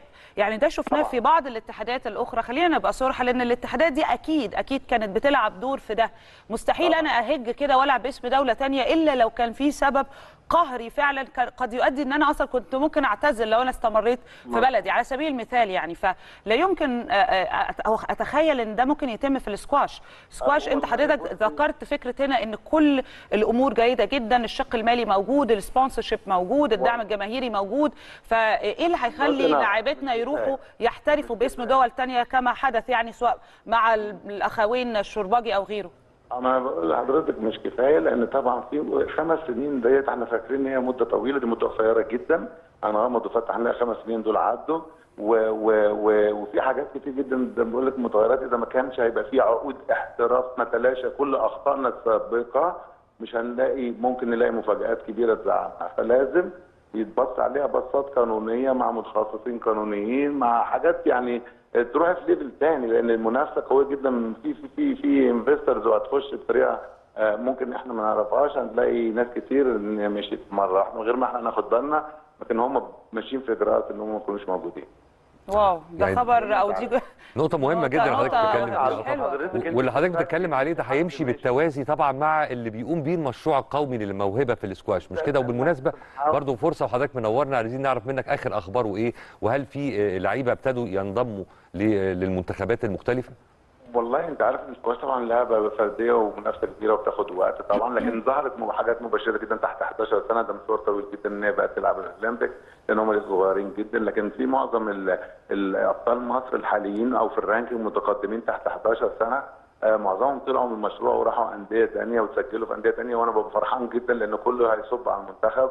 ويصب باسم مصر. فأنا ببقى سعيد جدا لما بقابل في البطولات اولياء أمور آه، ابنه رافع الكاس يقول لي أنا كنت بادئ معاك في المشروع القومي. دي حاجة بتساعدني جدا وبتساعدني إن إن إن الحمد لله يعني قدرنا من فكرة بسيطة وجميلة اننا نساعد في في وجود أبطال جداد يعني بيلعبوا باسم مصر وكده. رائع جدا. على كل حال مشكورة جدا كابتن أمير وبالتوفيق يعني لأبطالنا. لكن أنا مطمنة بصراحة لو هنيجي نتكلم عن السكواش شايفه أنا مطمنه شوية لأن أنت على صعيد الرجال والسيدات يعني عامل آه، rankings رائعة. فأنا مش عارفة ليه ممكن نخاف في الأولمبياد ده إحنا كنا. قاعدين يعني مستنيين اللحظة اللي هيدرج فيها السكواش ضمن ال يعني صحيح بس هي نقطة برضو إن أنت. عندك فعلا الأبطال الحاليين هم فوق ال 30 معظمهم فكمان خمس سنين السن هيبقى كبر فممكن المنافسات تبقى أشد. plus دلوقتي إن أنت فعلا الأجيال الجديدة ما أنتش عارف لسه هي على نفس المستوى ولا لأ. بس أنا أعتقد إن جيل بيسلم جيل. يعني زمان كان في أسماء مثلا رامي عاشور وعمرو شبانة والأسماء الكبيرة دي. طب. جه بعدها الأخوات أو الأخوين آه، شورباجي كانوا بيلعبوا باسم مصر وكانوا متألقين بصراحة سواء محمد أو مروان. آه، يعني عندك لعيبة كويسة جدا جيل ورا جيل ورا جيل. على صعيد السيدات بقى حدث ولا حرج. أنت عندك اسماء كلها طبعا. أكتر من رائعة. فيعني ربما يكون في جيل طالع بإذن الله على لما نوصل لأولمبياد لوس أنجلوس يكونوا بنفس المستوى يعني. نتعشم خير بقى في المشروع القومي للموهبة في طبعا. السكواش إن شاء طبعا. الله على كل الرياضات كمان مش بس في السكواش يعني. دي ريت. مهمة. بالنسبة بقى الخبر اللي جاي وهنتكلم تحديدا فيها عن بطولة أمريكا المفتوحة للسباحة ذكرناها لحضراتكم الأسبوع الماضي. النهاردة هي هتنطلق ومفروض منتخب مصر هيشارك بقائمة بتضم أربع لاعبين. عندك فريدة عثمان طبعا البطلة المصرية الجميلة وعبد الرحمن سامح ومروان القماش ويوسف رمضان. أربع أسماء كبار جدا وأعتقد معروفين دلوقتي بشكل كبير جدا لمعظم المصريين. المشاركة دي بتأتي لمنتخب في البطولة ضمن خطة التأهل لأولمبياد باريس 2024 وحققت فريدة عثمان تحديدا لمصر أول ميدالية زي ما إحنا كنا فاكرين في تاريخها ببطولات العالم للناشئين في السباحة. وتوجت ببرونزية بطولة العالم في المجر وأصبحت أول مصرية تحمل رقم قياسي عالمي في رياضة السباحة. كمان عندك مروان القماش هو تأهل لأولمبياد الفضيه لبطولة فلوريدا للسباحة. كل التوفيق ليهم. برضو عملنا كبير في السباحة لأن برضو الأسماء اللي عندك مش قليلة لكن أكيد المنافسة قوية جدا طبعاً. لدول كتيرة منهم طبعاً. أمريكا كمان تحديدا. طبعا. دي كانت درجات الحرارة. خلونا نعرف بقى تفاصيل حالة الطقس المتوقعة الأيام القليلة القادمة. وإحنا معانا على التليفون دكتورة منار غانم عضو المكتب الإعلامي بالهيئة العامة للأرصاد الجوية. صباح الفل على حضرتك. صباح الفل على حضرتك أستاذ كريم أستاذ نهاوند وكل السادة المشاهدين. أهلا بحضرتك. أهلا بيك يا فندم. وعايزينك بقى تطمنينا عن اللي جاي إن شاء الله هيكون عامل إزاي درجات الحرارة هل في أي ظواهر استثنائية ممكن نتعرض لها؟ آه، استمرارية الشبورة من عدمها كل التفاصيل بقى حضرتك أدرى. آه، طبعا يمكن إحنا الأيام الماضية بدأنا نشعر بشكل كبير بانخفاض قيم درجات الحرارة خاصه في فترات الليل المتأخر أو فترات الصباح الباكر ويمكن كمان فترة النهار. بالأمس مسجلين عظمى على القاهرة الكبرى 21 درجة مئوية. وكان في بعض التقلبات الجوية آه، بداية هذا الأسبوع ما بين امطار طبعا ونشاط للرياح المثير للرمال والاتربه لكن الحمد لله الأحوال الجوية استقرت بشكل كبير بيأثر علينا مرتفع جوي في طبقات الجو العليا فده هيعمل على زيادة فترات سطوع أشعة الشمس فبالتالي هيبقى ما فيش أي فرص لسقوط الأمطار تلاشي فرص سقوط الأمطار من على معظم محافظات الجمهورية. هنحس بالاجواء الدافية فترة النهار آه، استقرار تام في الأحوال الجوية. تعتبر درجات الحرارة حول المعدل الطبيعي لها هذا الوقت من العام.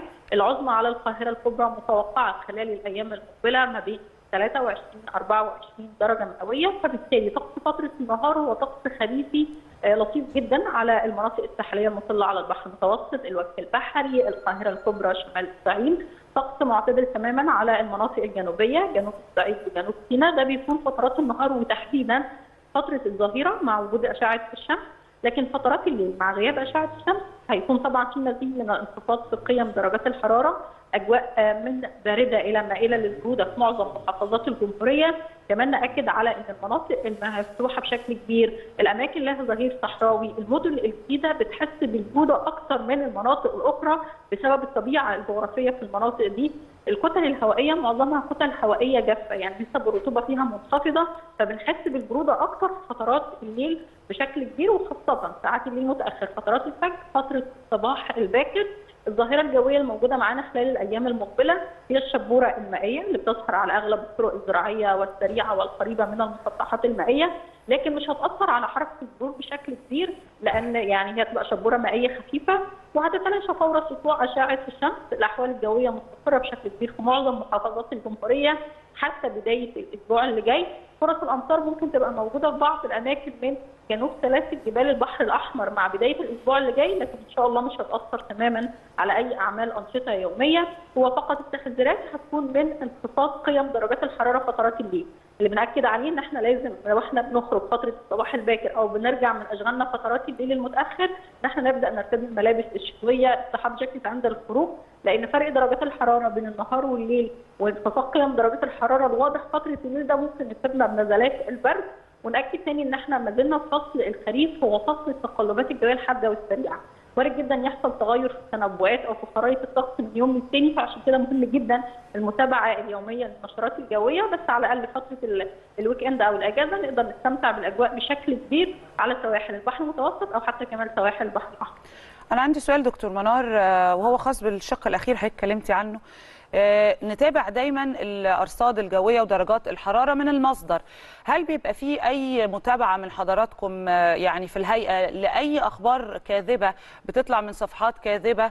آه، لأن ده بيتم انتشاره بشكل كبير جدا وللأسف ناس كتير بتصدق حاجات زي كده وبيحصل على أساسها أو جراء الموضوع ده آه، مشاكل في المجتمع. في ناس يعني يعني الفترات اللي فاتت أنا فاكرة تحديدا الشتاء اللي فات كان في أمهات بيتكلموا إن هم منعوا أولادهم من إن هم يروحوا المدرسة بناء على أخبار أصلا كانت متداولة كاذبه بشكل كبير جدا بوجود أعاصير و... و... وأمطار وحاجات زي كده. حضرتك فاكرة يعني. فحاجات زي كده المفروض ده شغل الهيئة أكتر إن هي تراقب ولا مين؟ هو طبعا هو بيبقى في متابعة مننا بس بتبقى متابعة شخصية من الهيئة العامة للأرصاد الجوية وكمان في قانون بيجرم إن في أي تنبؤات نشر أخبار كاذبة. بالظبط القانون بي- وفي غرامة مالية كمان على القانون والقانون ده اعتمد مجلس الشعب ومن رئاسة الجمهورية ففي قانون بيجرم كده إن أي أخبار كاذبة لها علاقة بالطقس طبعا بيبقى في غرامة مالية بشكل كبير يعني توصل تقريبا حد آه، يعني أقصى ليها 5 مليون جنيه. فالمهم إن إحنا في القانون بس يتنفذ لأن في بالفعل في بعض الصفحات كمان بتاخد اسم الهيئة العامة للأرصاد الجوية. مش بس بتبقى صفحات بتقول تنبؤات جوية دي بتاخد اسم الهيئة العامة للأرصاد الجوية وتبدا تطلع تنبؤات التنبؤات دي ممكن تعمل بلبلة ويعني رعب المواطنين بشكل كبير. وده إحنا شفناه في السنوات الماضية بالفعل بشكل كبير. عشان كده القانون طلع. وفي دلوقتي متابعة لتنفيذ القانون بإذن الله إن لو في أي إشاعات انتشرت ممكن بعد كده نطبق القانون ونمنع انتشار الاشاعات باذن الله مع طبعا غرف الأزمات في آه، مجلس الوزراء. نتمنى ذلك. ونشكرك جدا على المداخلة دي دكتور منار غانم كالعادة طبعا. شكرا ليكي. آه، نقطة مهمة جدا اللي انت سألتي فيها على فكرة. أنا فاكر يعني فاكر السنة اللي فاتت آه. ومرة قبل كده كمان. يعني حتى حالة الجو والطقس بقت عرضة للإشاعات. بس أنا عاجبني القانون. لو يطبق بقى على. المستوى الشخصي هي قوانين حلوة. والمستوى العام يبقى جميل. بصي، من حيث يعني ساعتها هتحب قوي إن حد يطلع عنك أخبار كاذبة. طلعوا براحتكم بقى إيه ونلم فلوس. المشكلة ما بتبقاش في القوانين قد ما هي في تفعيلها. دي دي للأسف وتصديقها. تفعيلها وتصديقها. ناس كتيرة جدا انت فاكر ما هي لو اتفعلت هتتصدق في ناس بتحط. صورة شخصية عامة اي ايا كان ممكن شخصية أي. عامة يعني مش مش عربية ومش مصرية أصلا خلاص صورته بس ويكتب لك فوق شعر وقصيدة. ويمضوا اسمه بجد وناس تصدق والله. أنا بس بستغرب هو بجد في عندنا ناس مش هقول طبعا يعني على قدر من السذاجه أو طيبة لا على قدر من إن هم عندهم حسن النية بهذا الشكل إن هم أي حاجة بيقروها بيصدقوها أو أي حاجة بيسمعوها بيصدقوها. ما هو الناس دي أمال جدا. النصابين فين هيشتغلوا الثقافة إزاي؟ يعني؟ لو الناس دول مش موجودين النصابين هياكلوا عيش إزاي؟ والله معاك حق. لازم لا يبقوا مشكلة موجودين. مشكلة كبيرة للأسف. وتلاقي ناس كمان يعني على آه، قدر كبير من التعليم شهادات. أنا أعرف ناس أصدقاء ليا حتى يعني دكاترة بي- بيصدقوا أي أخبار من هذا الشكل. وأنا طبعا عشان في الإعلام لاقي ناس بعتلي أخبار بقى الناس اللي هي ما بتصدقش ينفعش على طول يسألوا. فدول أنا بحترمهم جدا ولو ما عنديش معلومة بقول ده مش اختصاصي بس حلو إنك تسأل. آه، اتأكد ادخل على جوجل يعني أبسط شيء. لكن موضوع صعب جدا وخصوصا لما يبقى يعني مرتبط بحاجة زي الطقس لأن فعلا ممكن يسبب مشاكل كتيرة جدا. ناس عندها التزامات ناس عندها سفر ناس مدارس حاجات زي كده كتيرة. فاصل؟ ونرجع نكمل نرجع. بعد. مرة تانية وخلينا نتابع زي ما إحنا متعودين أخبار النادي الأهلي والفرق المختلفة معانا مريم سميح من مقر النادي الأهلي بالجزيرة كالعادة. يا مريم صباح الهلا معاكي وسامعينك يعني اتفضلي. صبح عليك يا نهاوند وصبح عليك يا كريم وصبح على كل مشاهدي قناة الأهلي في كل مكان. يوم جديد وجولة جديدة جولة نهاية الأسبوع و10 الصبح في الأهلي من داخل مقر النادي الأهلي بالجزيرة. هيكون معانا فيها كل الأمور والمستجدات الخاصة بالفريق الأول لكرة القدم وأيضا الفرق الرياضية الأخرى وأكيد البداية مع الفريق الأول لكرة القدم اللي خلاص قرر إن هو يعني يغلق صفحة نادي سموحة والتعادل سلبيا مساء أمس أكيد في الجولة السابعة من بطولة الدوري. وخلاص بقى بيستعد إن شاء الله للمواجهه أو المواجهات الإفريقية وأكيد يعني قرر مستر مارسيل كولر إن هو يعطي كل اللاعبين إجازة سلبية النهارده على أن يستأنف المران إن شاء الله غدا في تمام الساعة العاشرة صباحا على ملعب مختار التتش. وبعد كده بقى هيكون السفر في تمام الساعة الثالثة عصرا إلى تنزانيا. وزي ما إحنا عارفين أكيد بيترأس البعثة محمد الضماطي عضو مجلس إدارة النادي الأهلي. وأكيد طبعا يعني بعد الوصول هيكون هيكون في مواجهة هامة جدا إن شاء الله يوم السبت المقبل. أمام يانج افريكانز بطل تنزانيا في دار السلام. ده بيأتي في إطار مواجهات الجولة الثانية. من بطولة دوري أبطال أفريقيا. وإن شاء الله بنتمنى كل التوفيق زي ما إحنا عارفين طبعا إن كان فاز النادي الأهلي خلال الجولة الماضية. ودي هتكون الجولة الثانية من دور المجموعات من بطولة دوري أبطال أفريقيا. إن شاء الله هتقام مباراة يوم السبت المقبل في تمام الساعة السادسة مساء.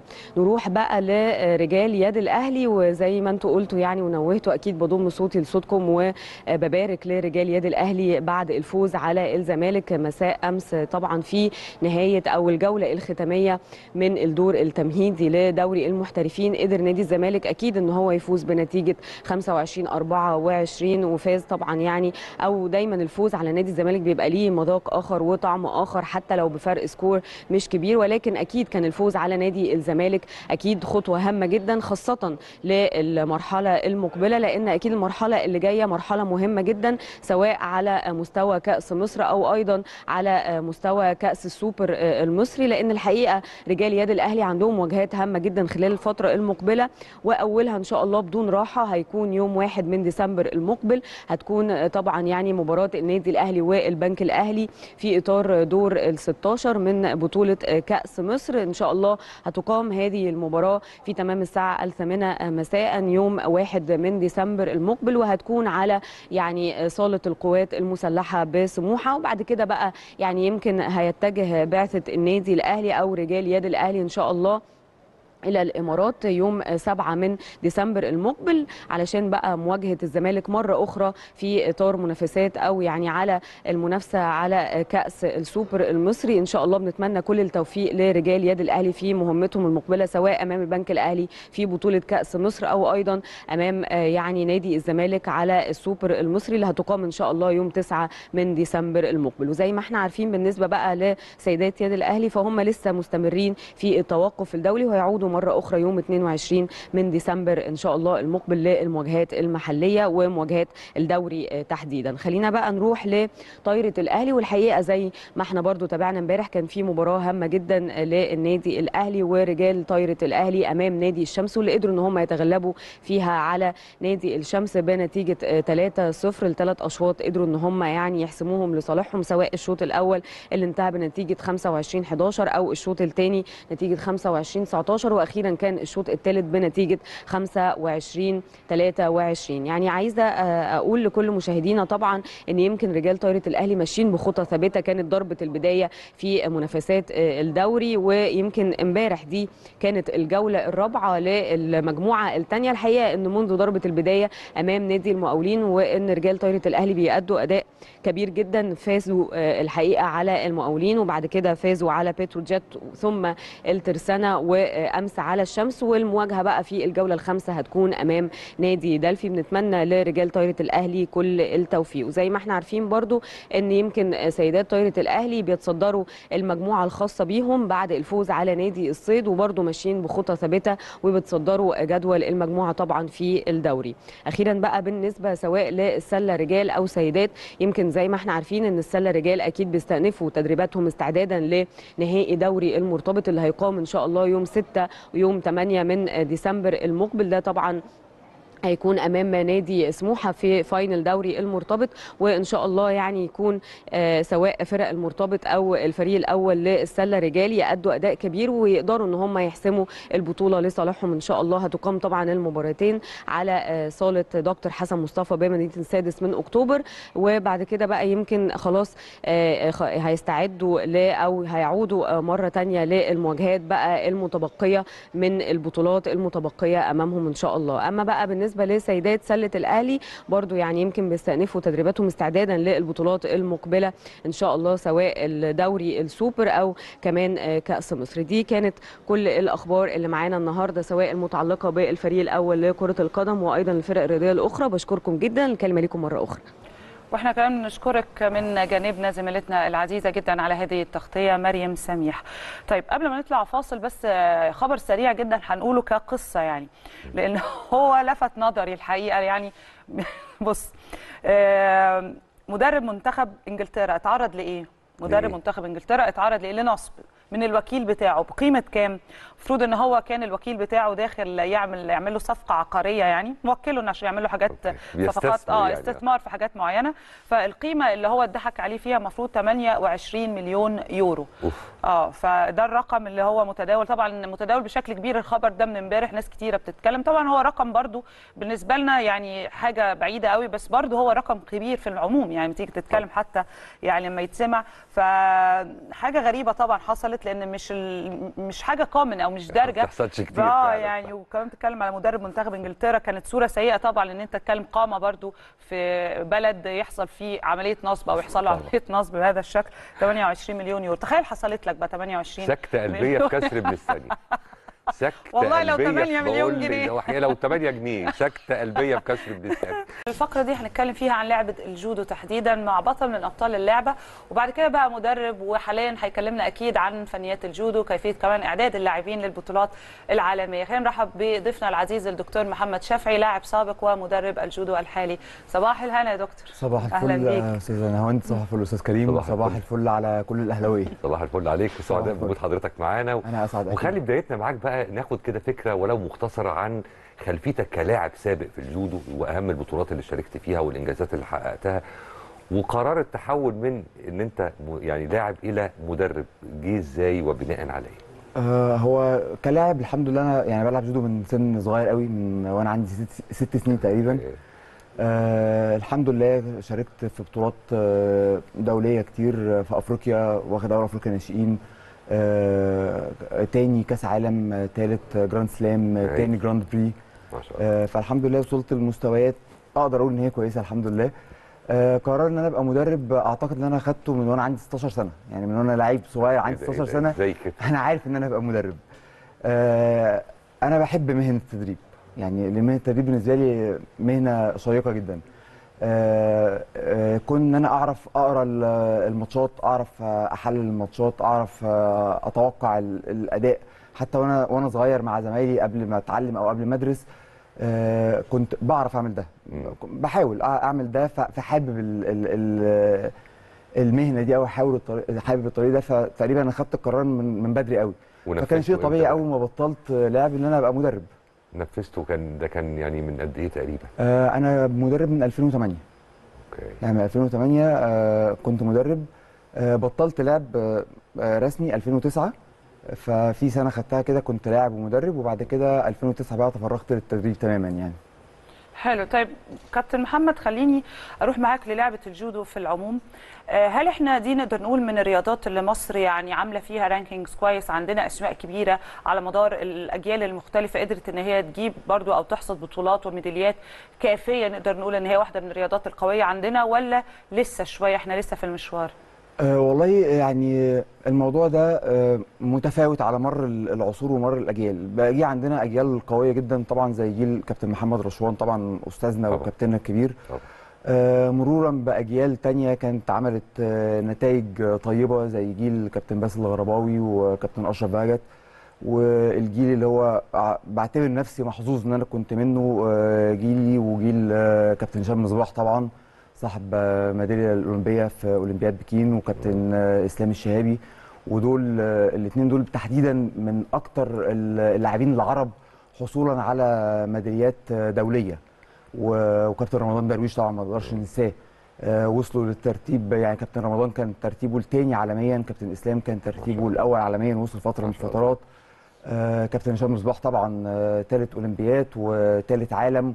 وحصل على العديد من البطولات العالمية يعني. طبعا كان هي كده كده كمان الرياضة دي من الرياضات اللي يتقال عليها شعبية يعني آه إلى حد كبير لأن آه ابتدى ال- الأسماء اللي فيها ابتدت تسمع آه عندنا فيها ميداليتين أولمبيين آه كابتن هشام طبعا وكابتن رشوان آه كابتن. رشوان حالة شديدة الخصوصية آه ده كابتن وضع رشوان استثنائي آه ونال استحسان وإعجاب العالم على المستوى. الشخصي كمان والله مش على المستوى الرياضي بس عن يعني على المستوى. الشخصي بني آدم جميل جدا بني آدم آه يعني هو ترجم قدوة. الجمال ده في. الواقعة الشهيرة بتاعته طبعا طبعا كانت واقعة شهيرة ودي من الواقعات أنا أنا حضرت كابتن رشوان في معسكرات آه، في الخارج آه، المنتخب الياباني بيكون له احترام طبعاً. غير عادي ده لازم يعني لما كنا في المعسكرات الدولية كان المد- المنتخبات كلها بتتمرن مع بعض مم. كابتن رشوان لما كان بيدخل الصالة المنتخب الياباني بيقف علشان يحييه فكنا بنشوف احترام غير عادي لكابتن رشوان طبعا وليه كل الاحترام والتقدير يعني. صحيح.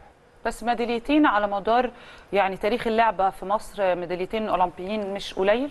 آه، قليل طبعا ولكن المنافسه في لعبة الجودو منافسة قوية جدا والتطور فيها تطور سريع وقوي والدول آه، اللي بتنافس دول كبيرة. طب إحنا مواكبين التطور السريع ده؟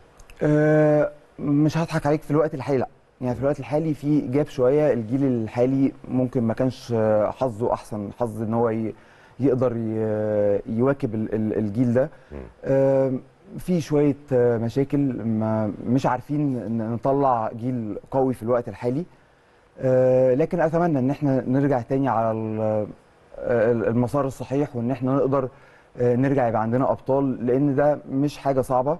محتاجة طبعا إن يكون عندنا مثلا sponsors محتاجة إن بشكل أقوى آه، يكون في احتكاك آه، في الخارج أقوى يكون في بطولات آه، أكتر معسكرات طبعا. معسكرات طبعا. لأن حتى طريقة التأهل للأولمبياد عندنا في الجودو مختلفة شوية عن بقية الألعاب. لازم يكون في rank دولي لازم يكون في بطولات دولية حصل عليها. فده مش متوفر قوي دلوقتي في, في الوقت الحالي. ممكن إمكانيات مش متوفرة ممكن خامات مش متوفرة. لكن في في مشكلة في الوقت الحالي. حتى في التأهل إحنا ما أعتقدش إن إحنا ممكن نتأهل بأكتر من لعيب على أقصى تقدير يعني. ودي عمرها ما حصلت. ده وضع مش لطيف خالص. آه، ففي الوقت الحالي فعلا الموضوع مش مش أحسن حال يعني. هي إيه أكتر دولة ال- يعني شاطرة في الجودو؟ خلينا نقول كده وعندها يعني رياضيين. اليابان. هي اليابان. هي هي هي مؤسسه هي أصلا هي المؤسسة هي مؤسسه اللعبة.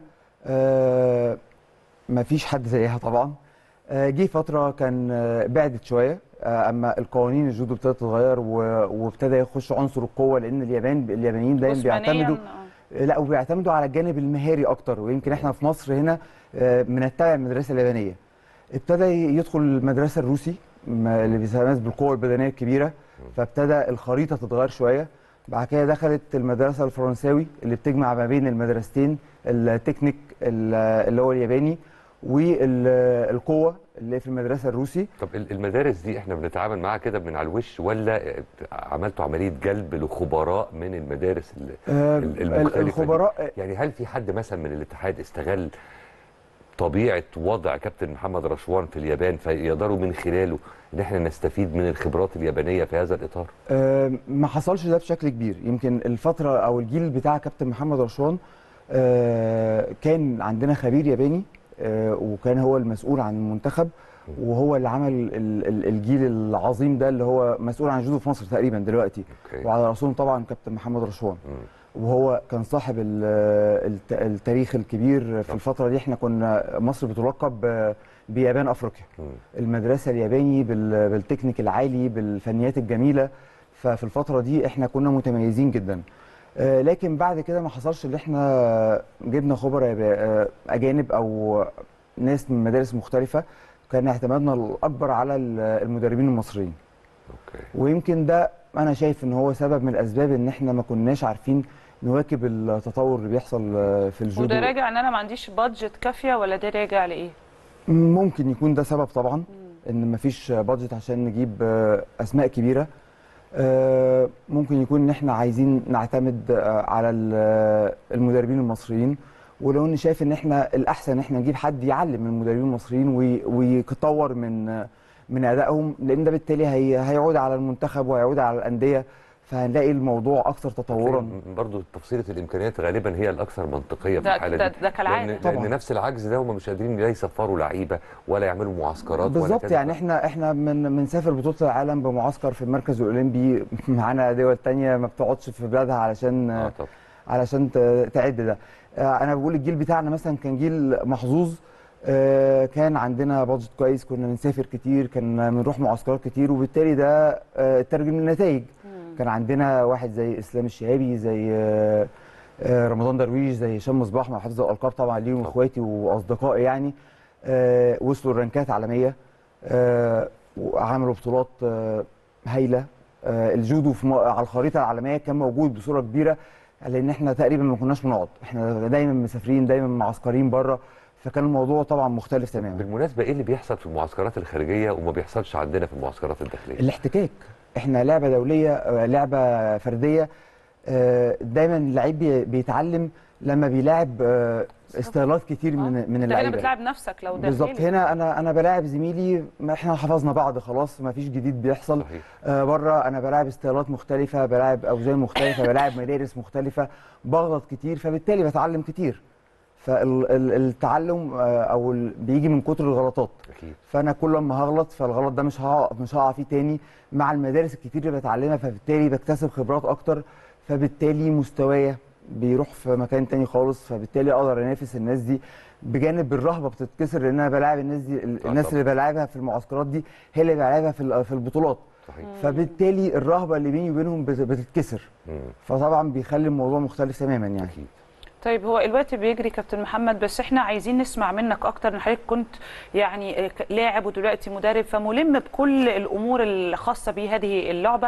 آه، إيه اللي حضرتك بتتمنى آه، يحدث فيه تغيير أو يطرأ يعني على لعبة الجودو في مصر؟ وإيه النواقص وإيه اللي نفسك يعني الحلم الخاص بالجودو إن مصر توصل لفين؟ خلينا نسمع منك. والله أتمنى إن يعني يبقى فيه اهتمام أكتر اهتمام الموضوع مش تدريب بس ال- ال- المنظومة أو الفكر بقى مختلف تماما دلوقتي مش موضوع أنا أنا بمرن بس أو الجانب الفني بس. آه لازم أهتم بجانب ال nutrition لازم أهتم بجانب الصحة النفسية آه. بال mental آه لازم أهتم يبقى في حد متخصص للياقة البدنية. منظومة كاملة مش مجرد مدرب جودو.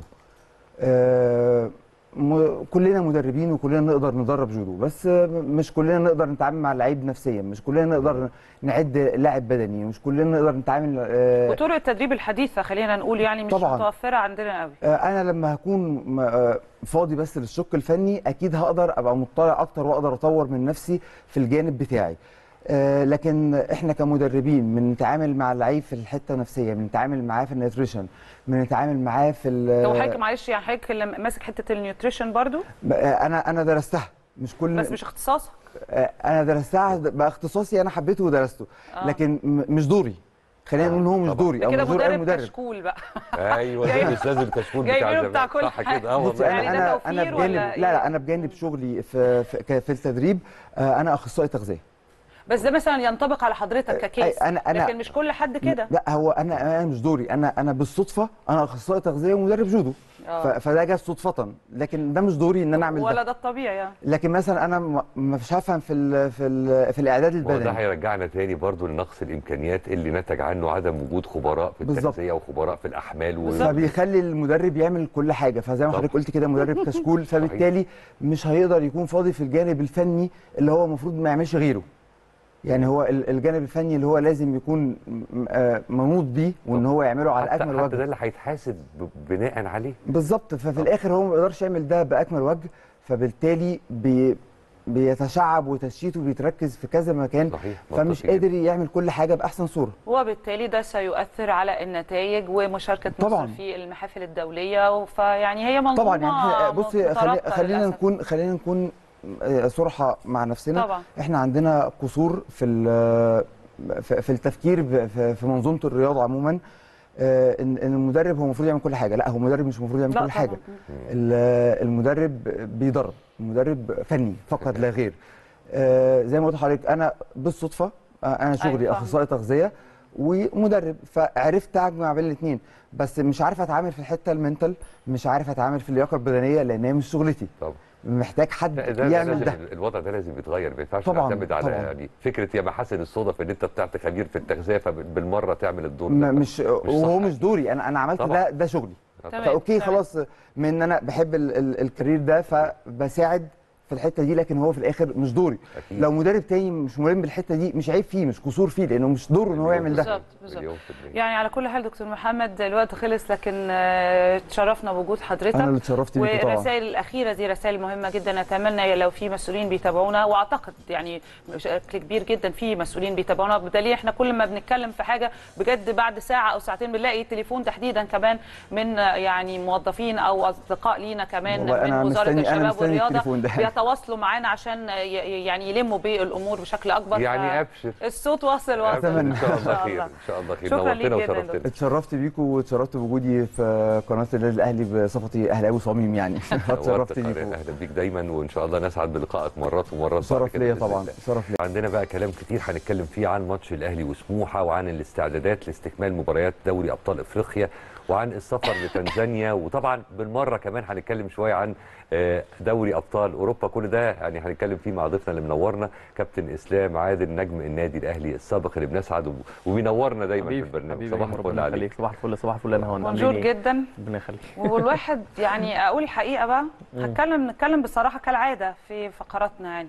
لا أنا زعلانة على المستوى الشخصي كواحده من الجماهير. مش كإعلام بقى وطالع يبقى موضوعي. أنا زعلانة لأن بعد اللي حصل في الجونة قلنا لا معقولة بقى مع سموحة هنكرر نفس النتيجة ونفس الفنيات ونفس الأخطاء. اللي حصل إن إحنا كان ممكن نفوز بشكل كبير لأن أنت كنت متوقع اللي قدامك هيلعب إزاي هيقفل اللعب هيلعب دفاعي آه هو أصلا داخل مش عايز يفوز هو داخل عايز يتعادل ده بالنسبة له كان المكسب. فالدنيا سهلة وواضحة وسلسة ورغم ده أنت برضو ما حققتش المطلوب منك. طب ده بتفسره بيه كابتن إسلام. في هدوء شوية في, في أداء لعيبه النادي الأهلي مطمنين شوية.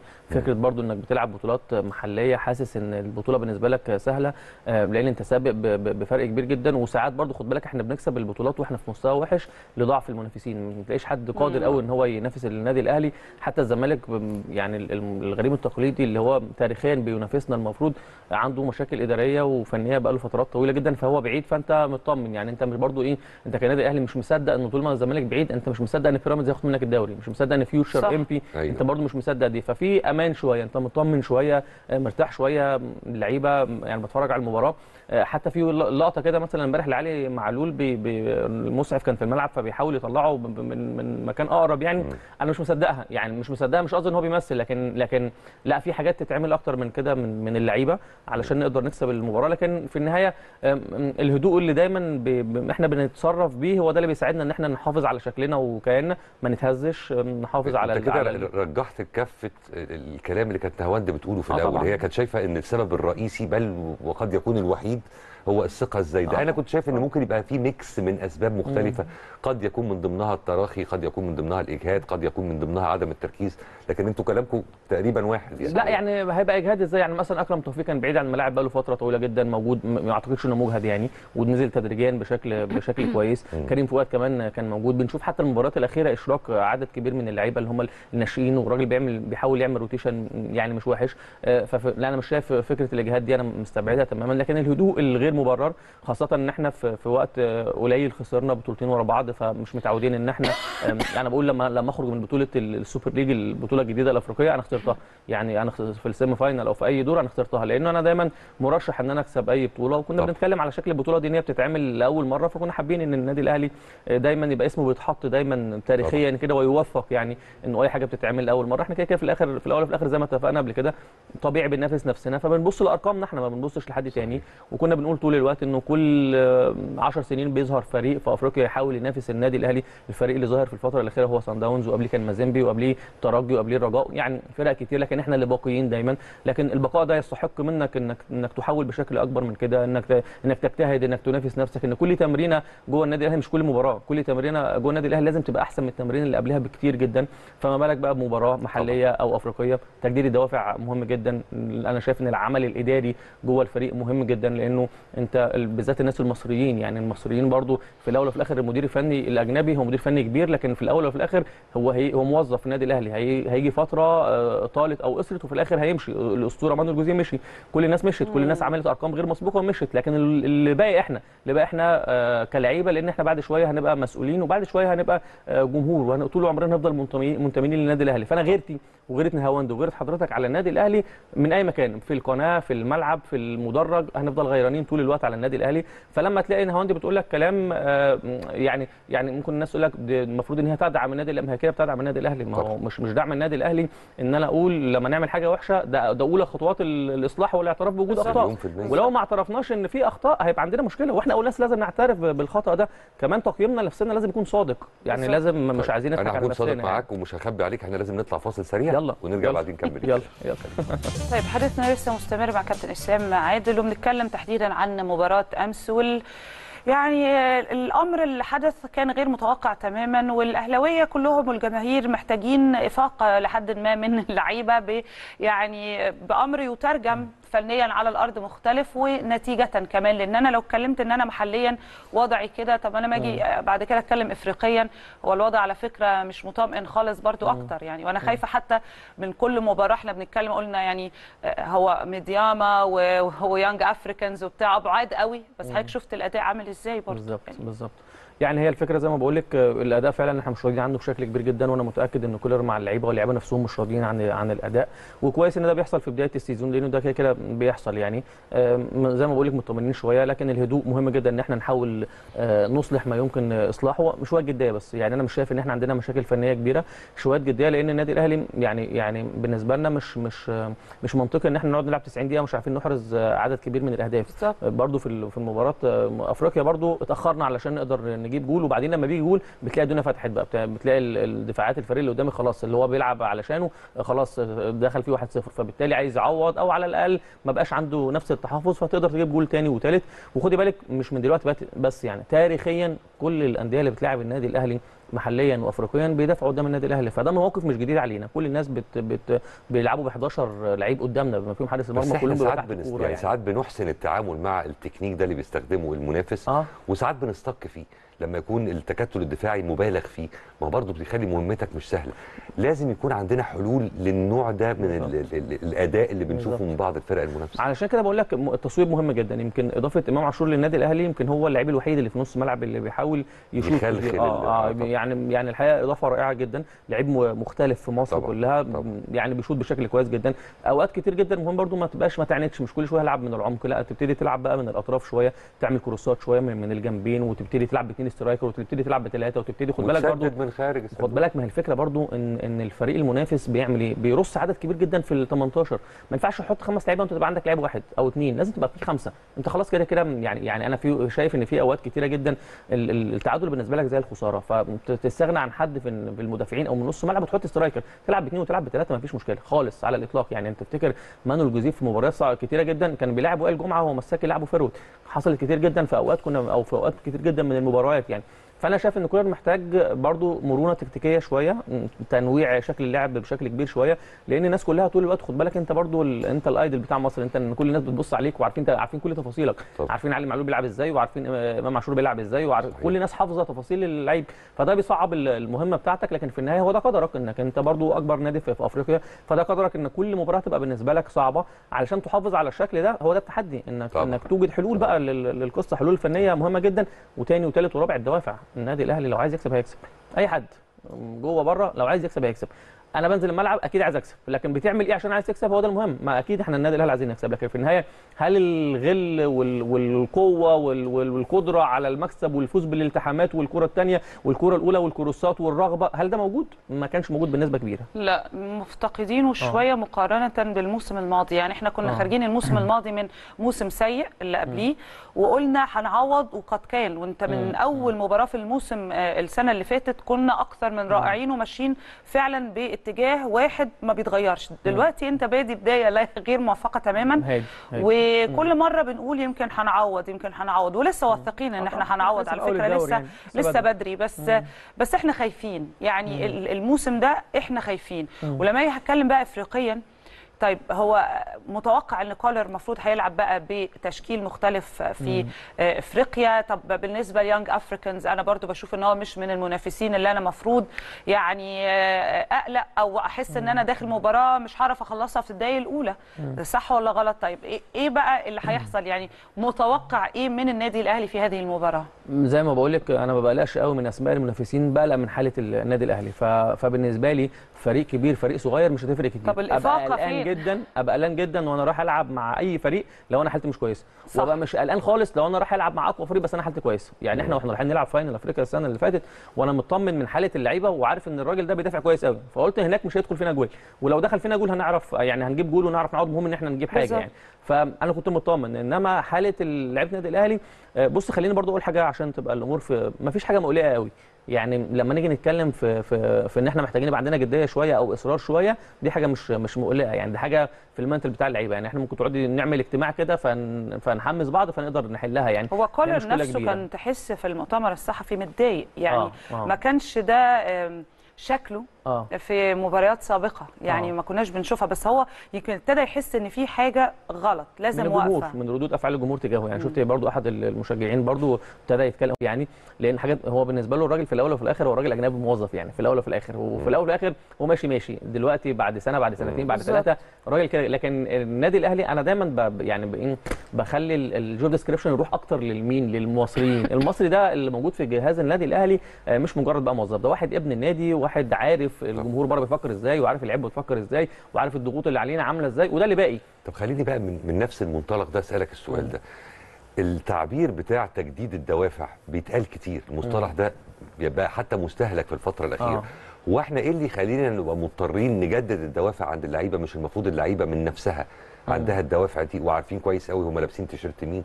وحتى للمجد الشخصي يا سيدي. مم. إيه اللي بيخلي الدوافع أو أو أو العزيمة تقل شوية فنبقى إحنا بدورنا مضطرين إن إحنا نجدد الدوافع عندهم. بص كلمة الدوافع دي عمرها ما هتقدم هتفضل موجودة طول ال- طول التاريخ لأن هو عنصر مهم وعنصر وعنصر. أساسي. ممكن أبقى مطمن شوية إن أنا على مطمن على مكاني ك- كلعيب إن أنا كده كده بلعب أساسي أو مطمن على مكاني كفريق إن أنا كده كده متصدر ال- الجدول لما ألعب الماتش بتاعي المؤجل يعني. لكن في النهاية آه، الدوافع لازم تتخلق طول الوقت مش هتقدر طول الوقت لازم يبقى في منافسة طول الوقت لازم يبقى في منافسة على مركزك وعلى مكانك ولازم ما تبقاش مطمن مش هتتغير مش هتعرف. آه، فكرة إن أنت توصل لحد زي كريستيانو رونالدو بنفس العقلية إن تجيب لعيب بقى هو بيخلق لنفسه الدوافع إحنا لسه ما وصلناش عشان نكون واضحين. يعني هتبقى صعبة. يعني ممكن تلاقي حتى مثلا عبد المنعم أنا شايف واحد من أحسن المدافعين في أفريقيا. رائع يعني. لكن في النهاية هو برضو يعني حاسس بنفسه فاهم؟ سؤال أي لعيب متحمل المسؤولية؟ مش المفروض إن هو عنده تجديد ذاتي للدوافع جواه سمات شخصية بقى. يعني سمات شخصية ما يعني ما يعني صعب جدا إن انت إن أنت تلاقيها في الأجواء بتاعتنا. واللي بيساعد في القصة دي عوامل كتير جدا. إن إحنا برضو ب ب كجمهور يعني وكميديا بنسرع جدا في تنجيم ال- اللعيبة واللعيبة بتعطل. يعني الموضوع ده بيأذي اللعيبة بشكل كبير جدا. تنزل تشوف بقى اللعيب نازل في الشارع تلاقي العالم كله حواليه بتلاقي الحياة بره برضو هو نجم كبير جدا. بتلاقي في الملعب هو مطمن إن هو يكون متواجد مشاركاته موجودة بشكل كبير جدا. مفيش عقوبات مادية فمفيش أي حاجة يعني تقلقه فبالتالي هو مش قلقان. ده خد بالك دي طبيعة بشرية يعني. مم. فإنك تلاقي واحد منتال مختلف هو رونالدو واحد بس في العالم في, ال... في الوقت الحالي اللي إحنا فيه ده. يعني حتى ميسي كسول يعني بص ربنا مديله موهبة عاملة إزاي بغض النظر بقى عن The Best أو أيوة. جائزه كره ذهبيه اللي بياخدها كتير اللي أنا مش مقتنع بيها دي لكن في النهاية هو آه ليه؟ ليه؟ لا لأنه رونالدو غريبة موهبة. الكلام أنا في ده. النص في النص. لا هقول لك بس عشان خاطر في الآخر برضه ما هو يعني يعني السنة بيلعب في أمريكا وايا كان حتى كأس العالم يعني يعني برضه كأس العالم هو ال team الأرجنتين team كبير بس مش عايز أخرج بره الموضوع. لكن هو رونالدو واحد يا جماعة. يعني هو رونالدو واحد في ال- في والله كلام يعني. محترم. أنا أنا برأيي كده برضه خدي بالك برضه الفرق ما بين رونالدو طبعا ده وميسي. الغالي بصراحة رونالدو وميسي خد بالك الفرق كبير جدا. ربنا ادى لميسي موهبة من عند ربنا. والراجل ده يا عيني قعد يكافح طول حياته عشان يقدر يبقى منافس لل- للموهبة دي. وبعدين بص في السعودية النهارده بيجيب جوال عامله مش جوال سهلة. أنا كنت متخيل بقى إيه؟ قلت ذكي جدا راح برده دوري مريح. آه. فهيفضل برده الناس بصله إن هو جامد. بيجيب جوال حلوة بعد قوي. اللقطة الأخيرة اللي عملها بعدم. آه، عدم احتساب ركله آه، آه، ركله. ركلة لا هو الجزاء بصراحة يعني ظاهرة. يعني. بأمانة لو كان في ظاهرة في كورة أنا شفتها بعيني عشان برضو في أجيال قبل كده ما ما شفتهمش فما اظلمش يعني. لو في ظاهرة فهو رونالدو الحقيقة يعني. نروح لدوري أبطال أوروبا ولا نروح لإيه؟ والله الواحد يعني نروح لدوري أبطال. ولا نروح فين؟ هنروح فين يعني طيب بتشوف المنافسة الموسم ده برضو آه، إزاي؟ إيه ال top 3 أو نقدر نقول ال- ال top 3 في الفرق؟ مين برضو بترشح؟ هل هو برضو زي ما بنقول كل موسم نفس التكرار ولا شايف في منافسين ممكن يكونوا مختلفين الموسم ده؟ لا الكورة بقت شبه بعض شوية. بعد ما رونالدو وميسي خرجوا اللعيبة الجامدة ما بقوش يعني اللعيبة المختلفة مش موجودين كتير. يعني يعني مثلا هالاند في مانشستر سيتي مبابي مثلا في بي إس جي مش هتلاقي لعيبة بقى في الأندية. حتى حتى ريال مدريد يعني فينيسيوس مش يعني مش مش برضه بحجم رونالدو. طبعا. ما فيش حد برشلونة بحجم ميسي. فهتلاقي بقى الفروقات ما بقتش كبيرة. يعني النهارده في مباراة نابولي وريال مدريد أعتقد مباراة ممتعة جدا. يعني بقى هتلاقي فرقتين كبار بي- بيلعبوا. في العادي لما كان يبقى رونالدو موجود مثلا في ريال مدريد كنت تتوقع أفضلية بشكل كبير جدا لريال مدريد. النهارده لأ. النهارده عادي جدا. equal يعني هو هو يبقى ريال مدريد إن هو فريق زي النادي الأهلي كده بيعرف يكسب بطولات فهو مرشح دائما يعني حتى لو هو أيوة. ما عندوش يعني اللي هو النجم الأول في, في, في أوروبا لكن هو بيعرف يكسب بطولات هو نادي أصلا بطولات يعني وعنده لعيبة بقى متمرسة بشكل كبير جدا. لكن خليني أقول لك إن أوروبا الفترة الأخيرة الفرق آه، شبه بعض مستوياتهم قريبة من بعض بشكل كبير جدا. صحيح. مش هتقدري تقولي النهارده بايرن ميونخ مثلا أحسن فريق مش هتعرفي تقولي دي. مش هتعرفي تقولي النهارده برشلونة مثلا مكتسح زي ما كان في فترة من الفترات مع مثلا مع جوارديولا مثلا.